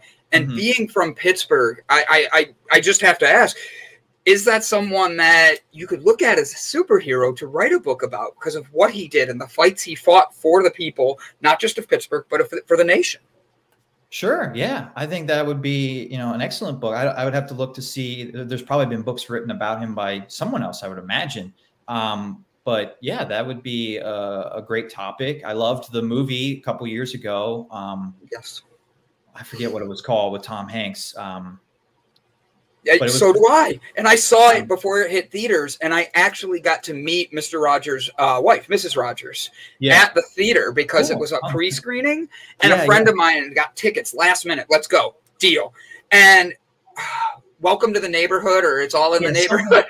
Something neighborhood, right? Um, and I, I think what struck me about that uh, that that story, that movie, was the kindness that he had. I mean, yes. Just, he was absolutely the most um, kind, nice, good-hearted person. That if we all tried to be more like that, then we would just have a much better world. Mm-hmm. mm-hmm. I agree. Now, I, I, I was nice. I went with Mister Rogers. I give you one. I let you do two. I'm gonna. Mm, uh, don't make me come to South Africa no, and train your. I, I just want to ask before you guys get to another question, and then I come back who's Mr. Rogers? Because I don't know who that is. And you know what? That is my fault. I should have told her about that before the show. Go ahead, Dave. Tell her about the awesome man that Mr. Rogers is. He Please. was um he had, he had a, a kids TV show on PBS that um he they he took the uh it, it was him in Pittsburgh in his neighborhood, a beautiful day, and that's it. Um, and he would take them around to different places around where he lived, and, and he lived in the suburbs of Pittsburgh. And then he would also take the show to um, the what was it, make believe? That it he, and it was like a fantasy world for little kids. He had puppets with animals, and it was taught taught young children, you know, life lessons. Um, this was for you know four or five year olds. I think he had an episode about what to do when another kid hits you, um, or you know tries to bully you. And he always, you know, he was very peaceful, very um, kind-hearted, nice, uh, very nice person. And his show was on public broadcasting in, in the United States he he was just he broke barriers in the way that one of his big things that made him very popular was he uh, he had an African American mailman and he invited him to come and sit in the pool with him and it was the first time that you saw interracial on television let alone public broadcasting and Mr. Rogers was the one that wanted to break those barriers, and he did it because he looked at everyone equally, and that's why I, I am a big Mr. Rogers fan. I'm also uh, he, a big Mr. Rogers fan. Now you are. That, I, yes, if he does that, then I'm also a fan, definitely, because that's how it's life supposed to work. Okay, I'll leave you. She's like, all right, I'll let you ask your question now, Brandon. Dave, I noticed on your website, I want to pull that up for everybody. I shared the link so everybody could click it. First sure, off, you're you. awfully you're you're awfully young, buddy, to be doing such amazing things. Writing for Sports Illustrated, you've already been published twice, and I, excuse me, as a hiccup, I also read on your bio here how you plan to self-publish a book, one to two books a year over the next coming years. Like, what is the what what is in you that like is making this come out? Because I think that's a phenomenal thing, and why did you decide writing was going to be your outlet?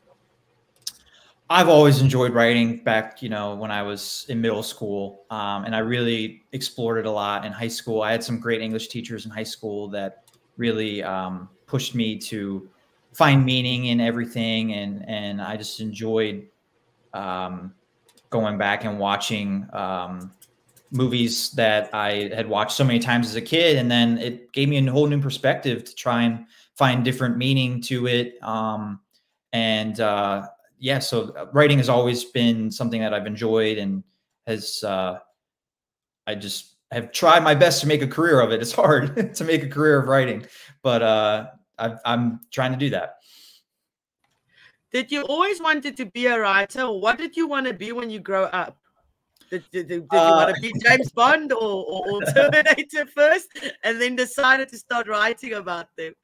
I wanted to play baseball first, um, and then when I realized that wasn't going to work out, um, I wanted to be a sports something. I think originally I wanted to be an announcer, a sports broadcaster, uh, and I wanted to be the next Mike Tirico and be the Monday Night Football announcer.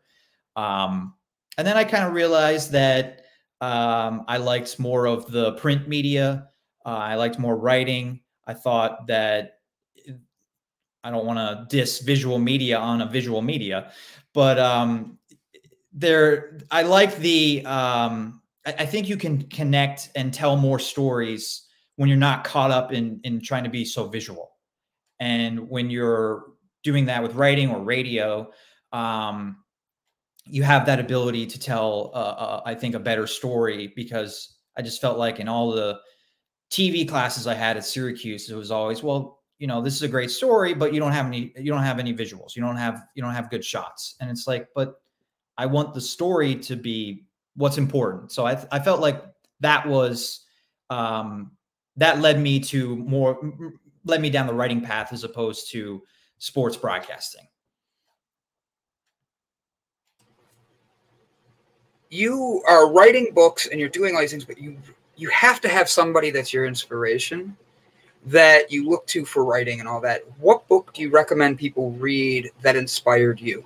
And I have to jump in here really quick. Sorry, I saw this right before right before I started asking my question. Uh, you would rock at announcing. good voice for it. So now you have fans coming to you wanting to hear you broadcast these games. Now, all right, just saying. Thank you. Um, books I would recommend. Uh, you want fiction, nonfiction, either one? something that inspires Dave, that that got Dave to want to like either the book that got you into writing or a book that mm. you read recently that you're like, look, I just think this is something that helped me that I think people should read. Anything that's yours that makes Dave Dave. Um, I, I guess I'll go with three three novels, three fiction books. Um, I really liked The Hunt for Red October. Um, I've been trying to reread it. I started it in August, and then football season started, so I'm probably gonna have to wait until February, since Super Bowl is now on Valentine's Day, um, to uh, it's the day before Valentine's Day this year. I honestly, my Browns are going to be there. I should have known that. you should. I have I, I I'm I'm manifesting that right now on air. We're gonna make it to the Super Bowl. It'll be the first time in Browns history to be at a Super. Bowl. Uh, oh, sorry, sports talk. I'm not supposed to do that today. well, that's okay. Um, so the Hunt for October, I really liked the Jack Ryan series. Um, I got into the Jack Ryan series because of the movies at first, but um, then I started reading the books, uh, and I, I love for October. Um, Ian Fleming, James Bond, of course. I love the first uh, Bond book, Casino Royale. I would recommend that to any Bond fan for sure. And um, I think more recently, uh, Jackdaws was a book that I read. I knew that I wanted to write World War II fiction. That's what the, my next uh, book is is about. And uh, I tried to read other books in the genre. And my favorite one that I came across while reading some World War II fiction was was Jackdaws by Ken Follett. I think is how you pronounce his name. It's I think it's a French name. I'm not great with French pronunciation, um, but uh, he's a great author. He's written a lot of books. I read a few of his, and my favorite was by far Jackdaws. And I think if you read Jackdaws and then read my book, you'll see kind of where he influenced me. With that being said, do you have any of any other people you'd want to write a book about, like any other superheroes? Because we had fun playing around with them today. Oh, the Hulk gets mad. Oh, this person, uh, Batman, I saw gets mad, and he does. I didn't Yeah. even think of that till I, I read that comment. But like, what is another superhero that you would love to be able to actually like write about, see, or break down like you did these two?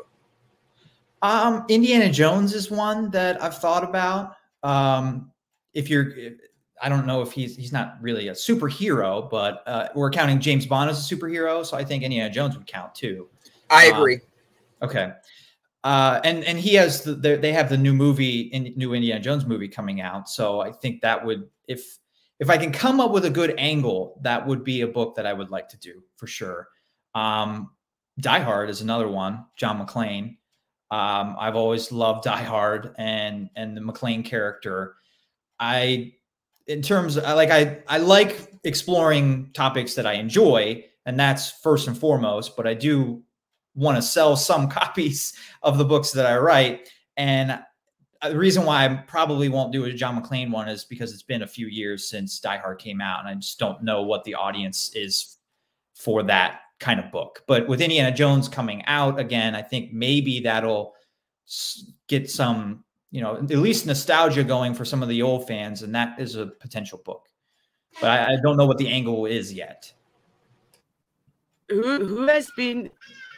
Sorry, those are hadedas, and they wait until you unmute, and then they just start shouting at each other. I apologize. Um, who has been your mentor in your life? My with- my with mentor. regards to, to, to yes, with regards to getting into the sports writing and into to writing the books. Um, like, what do you mean by mental? Sorry. No, mentor. Like Men- mentor, someone that mentors Mentor. like A a mentor, mentor. Yes, Oh, yes. gotcha. Sorry, it's the bird. Um, she she's not a writer, but I would say my mom has always been uh, pushing me to to um, make goals for myself and and go after my dreams. I guess is what I would say, and my my dad as well. Um, but my my mom in particular has been. Um, especially with the James Bond book, I, I think she was the first person that I mentioned it to, and uh, she said, to to do it go for it right away. And i was like well are you sure? I'm you don't normally write a book at 28 and i don't know what kind of audience that i can get and i don't i mean don't i need a publishing house? And she just pushed me to say well just look into it. Just look into if it's possible. And that pushed me to the self-publishing realm and and here i am i guess You shouldn't say that you're 28 and you, you you you can't publish books. We have interviewed people that are way older and way younger that's also published books. You should never put it put why did they say? Uh, limitations on on yourself. is that Yes, don't put limitations Yeah. on yourself. We want to see some more books. You are you have to do the the the the, the Marvel series with Aquaman and all them in because I think there's lots of things that we can. And I'm a Marvel fan. I'm not a big Terminator and Bond fan. That's okay. We'll, we'll get you into them. I'm a John I'm McClane fan. The list that you gave me. I'm a John McClane fan, but that's just Ooh. because Bruce Willis is my like superhero in my heart. Like that's who I want to be like. Maybe it's the bald, maybe it's the buff. I don't know. I just know it. So, Dave, you are a Pittsburgh fan. You Mhm. write for the Atlanta Hawks or Atlanta Falcons. Sorry. Um, see, my sports knowledge kick, doesn't kick in. When Dave's alone and he's with his wife, congratulations on the marriage, by the Oh, way. Thank you. I, I by the way, when you get your wedding pictures, I need to see the picture of you you in this tux, just so we're clear. Like I, I Sure, yeah. absolutely am excited. That will make that the profile picture for this episode, just because it's that cool. Sounds great. so, so what does Dave do for Dave? I, I, I it's a very random question. I know that, but like the thing is, to be able to write a book, a lot of people don't know that in themselves that they have that cap- capabilities, and it your mom giving you that inspiration is amazing. I, I I love how you phrase that and everything. But when you wake up in the morning and you kiss your wife and you James Bond her, then you turn around and go out and start your day. How do hmm. you? the smile was worth it. Thank you, Dave. but like, how does Dave know that Dave's reaching his goals daily and weekly and find the best in himself?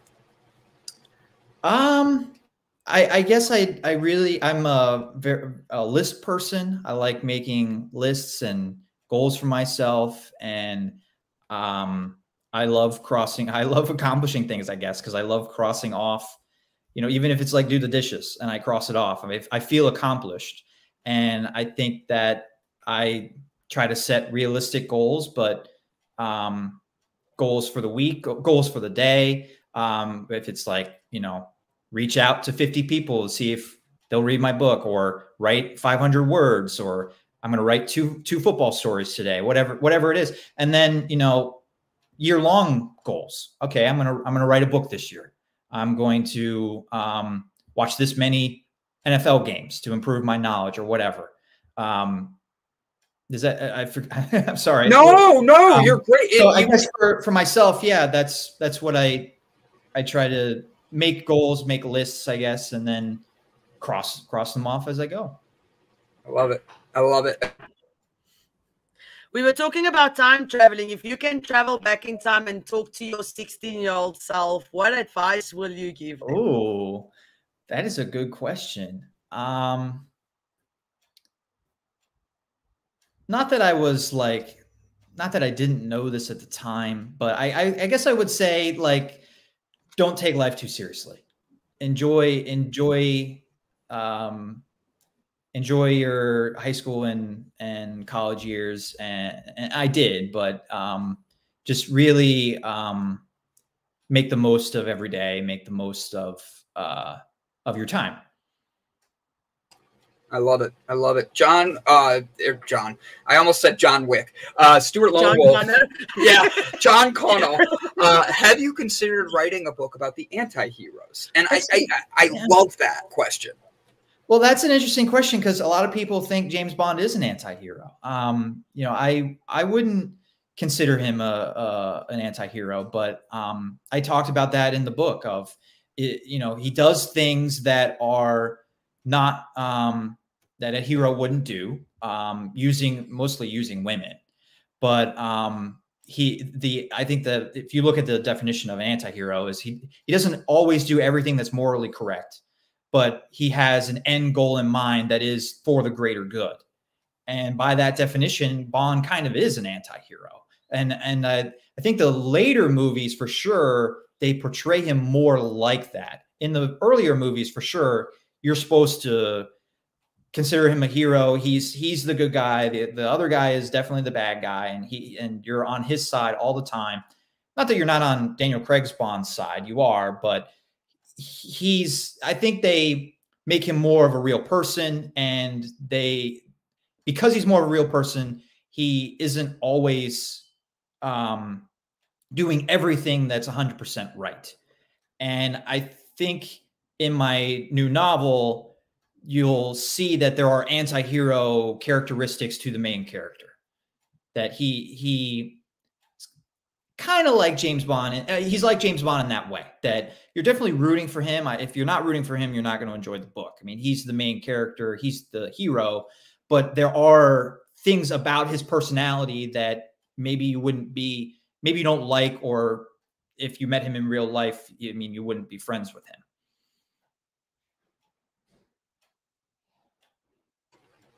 Uh, she pointed at me. I just want to make sure. She's like, so if you could give someone this book to read, and like both of them, one for each, so you get two people, who would be the person you'd love to be able to read your book? The James Bond and Terminator. Yeah, one of you could pick two different ones if they're different. Um, probably you know somebody in the series, um, either like you know Barbara Broccoli or or Daniel Craig. Um, and I would love to.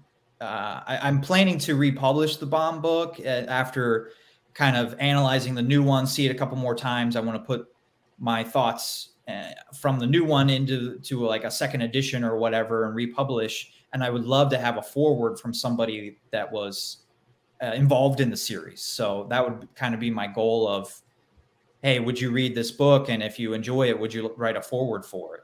Um, that that for so for Bond that would be uh, it would be awesome to get somebody like Daniel Craig or Barbara Broccoli to um, write a foreword. So that, that that would be who I would want to read that book. Terminator, I'd probably go along the same lines. Maybe uh, maybe Linda Hamilton, the the actress who plays um, Sarah Connor, or um, or James Cameron. I'm a huge James Cameron fan. I um, I mean, he can't maybe Arnie. Sorry, maybe Arnold. Don't you want him to to? to... Well, I mean, I mean he's the original Terminator.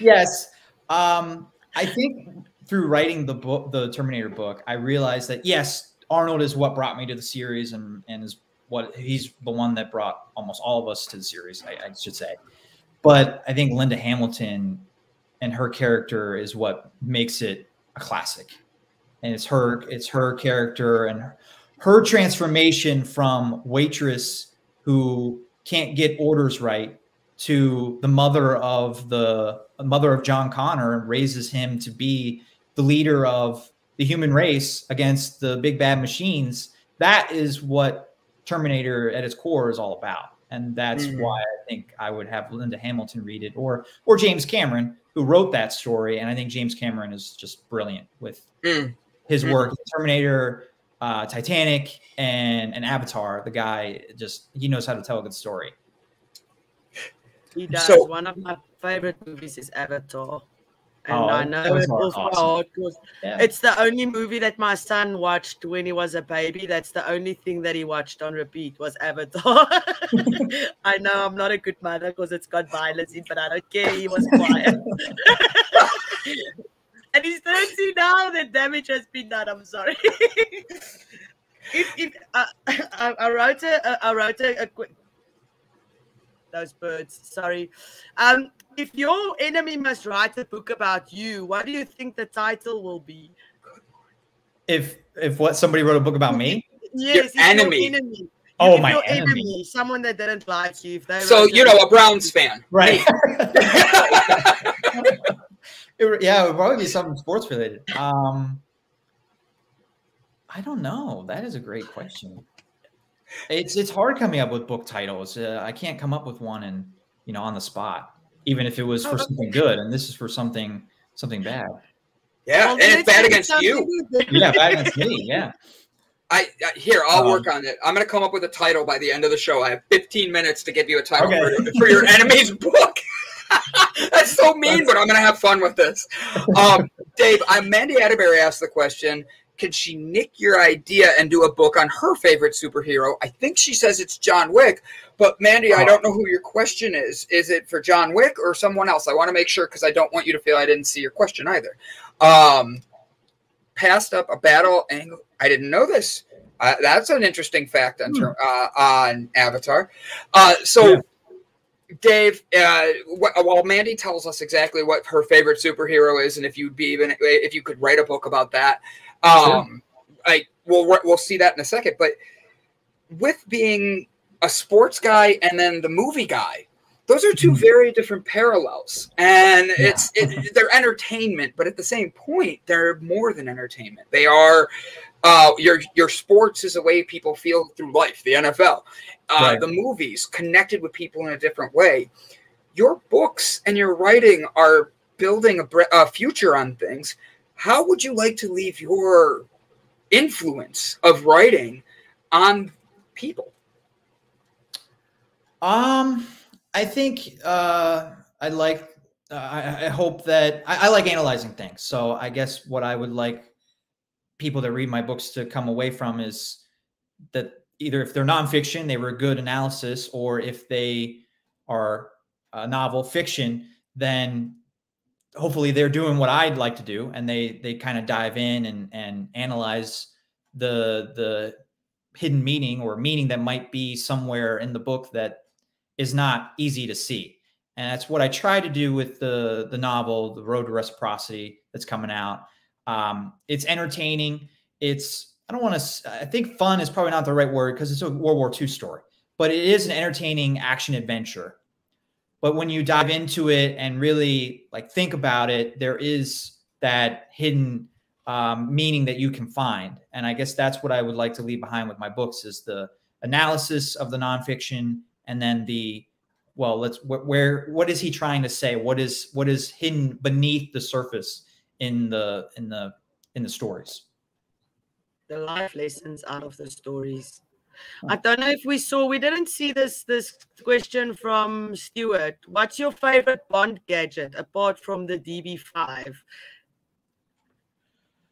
i'd have to say the exploding pen in goldeneye is just so classic i love it that uh and and the the um boris you know how he goes like this with his with his pencil i guess i'm a little out of practice but it took me a long time to, to to learn how to do this but i got it eventually and uh that's such a cool part of the, yeah, that's such a cool part of the movie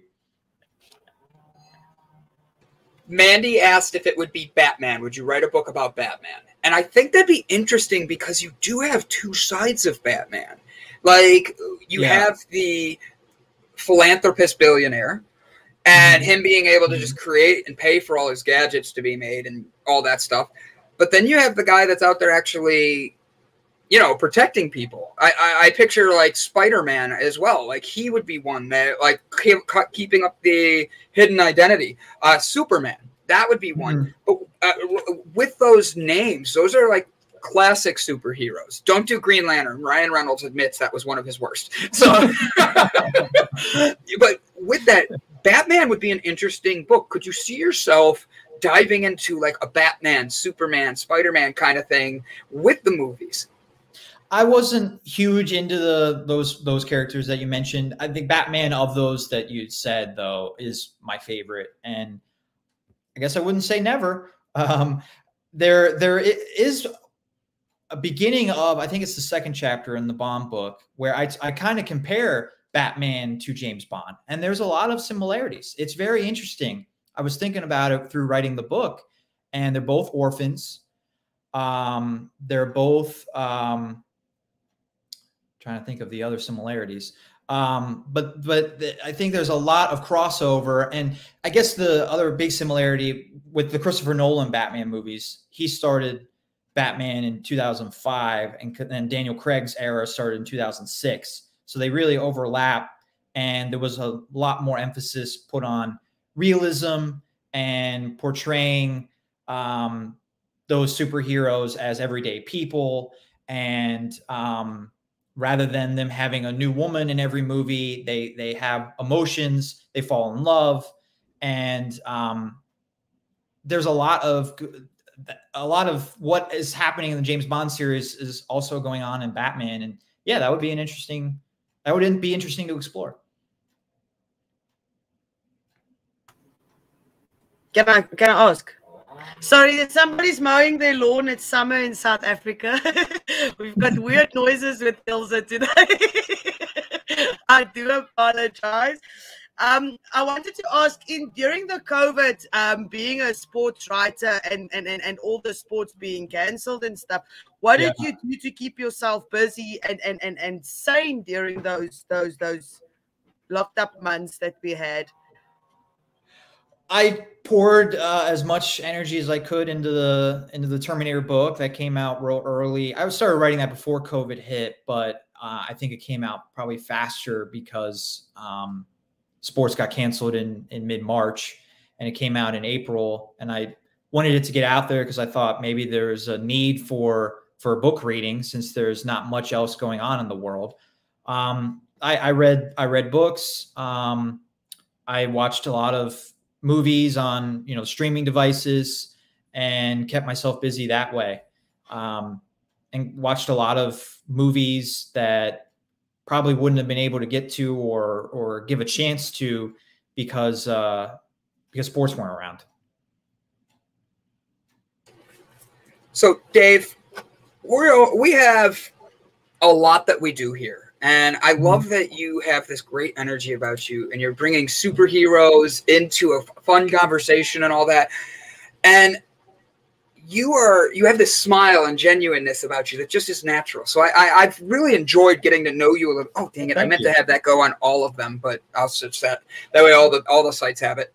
Um, with your new book coming out is this would you i, I want to know a little bit more about your new book because we talked about both your uh, james bond to Bat, uh, batman james bond to terminator Sure. tell us a little bit about your new book and I, i'm sharing the link for everybody so that way they can go check out your first two books and also know about your third book coming out and why that would be something that you uh, why everybody should go purchase that Yeah, it's called The Road of Reciprocity. Uh, it's about a U.S. dispatch rider that fi- in World War II that finds out he, he has two brothers that are also serving, and he finds out that they may be wounded behind enemy lines. And it's kind of the book is about how he deals with that information.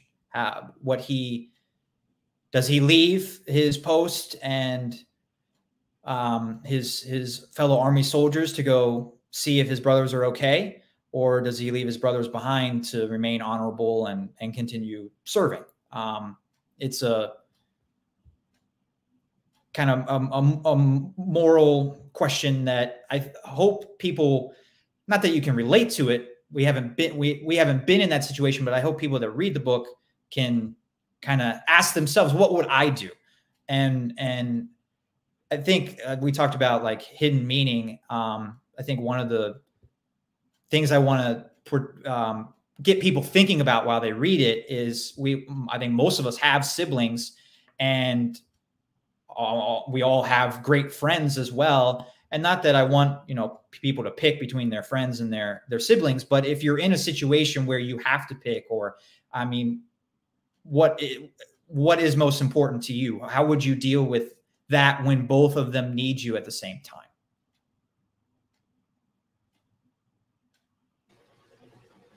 I'm waiting to see if she's going to point at me. I know she has a delay. That's the only reason I'm pausing for a second.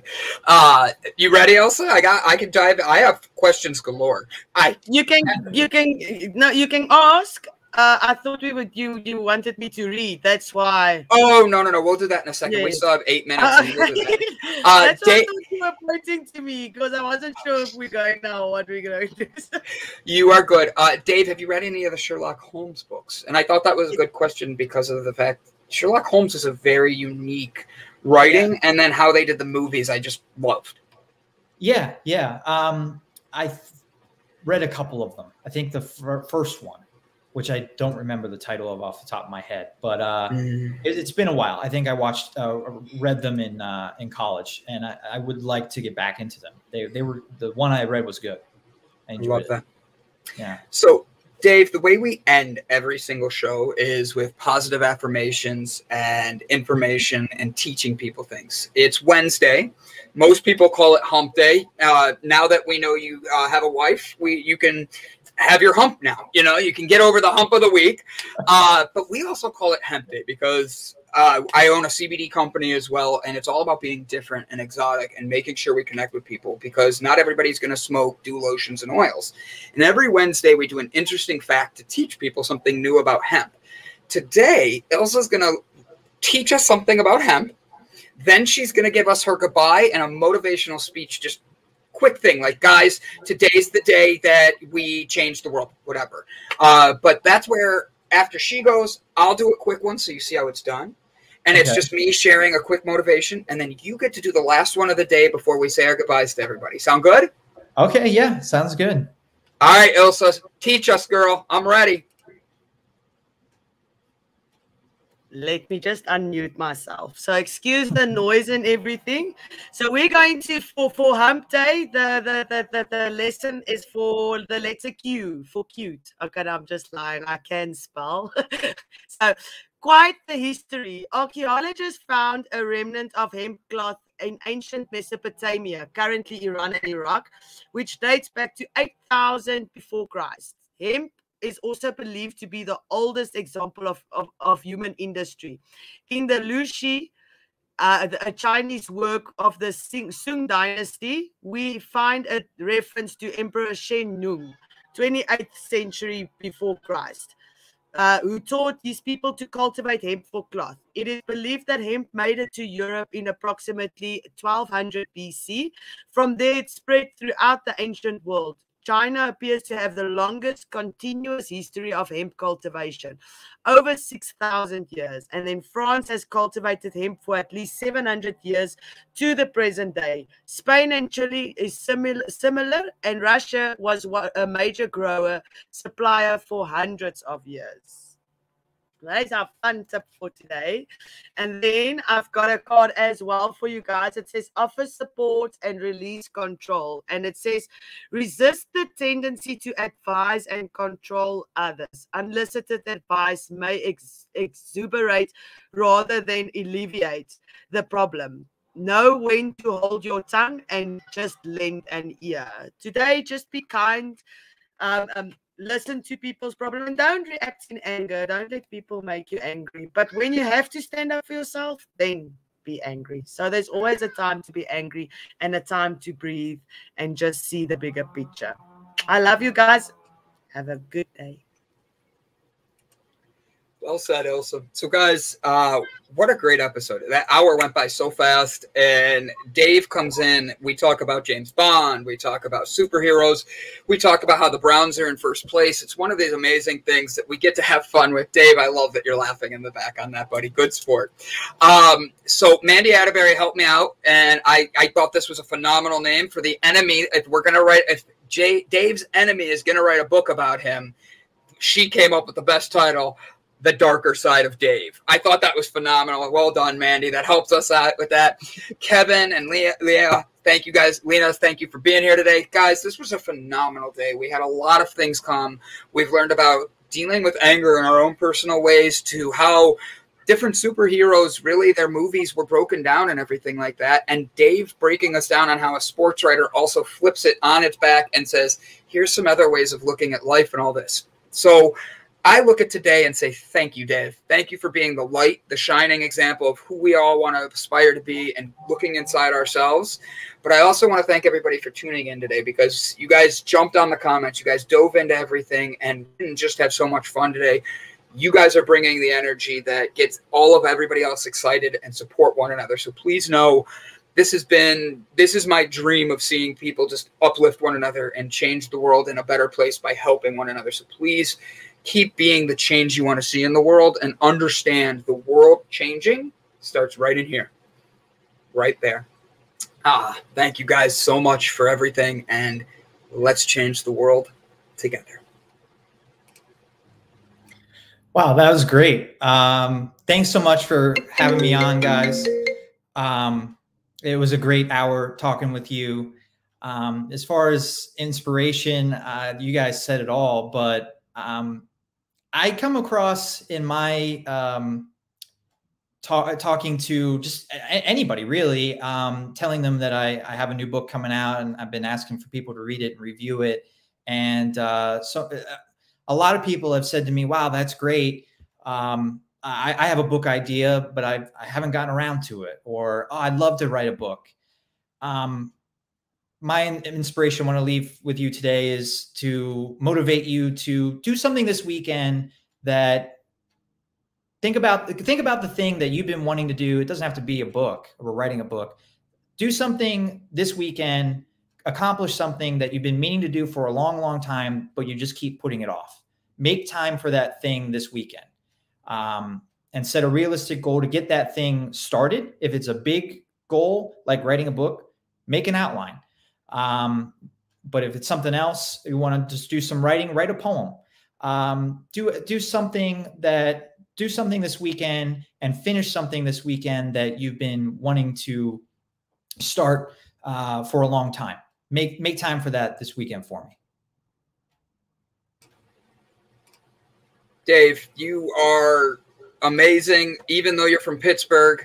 And honestly, Dave, you are honestly great. I, I, look forward to reconnecting with you again in the future because uh, while we might not have time travel now, you are always welcome back here anytime. And I'm actually looking into. I, I searched you to be able on Sports Illustrated so I can read some of your articles and all that. Thank you. Uh, I, I, I, greatly appreciate you giving us time today and bringing it. You're getting the loves. You're getting the thumbs up.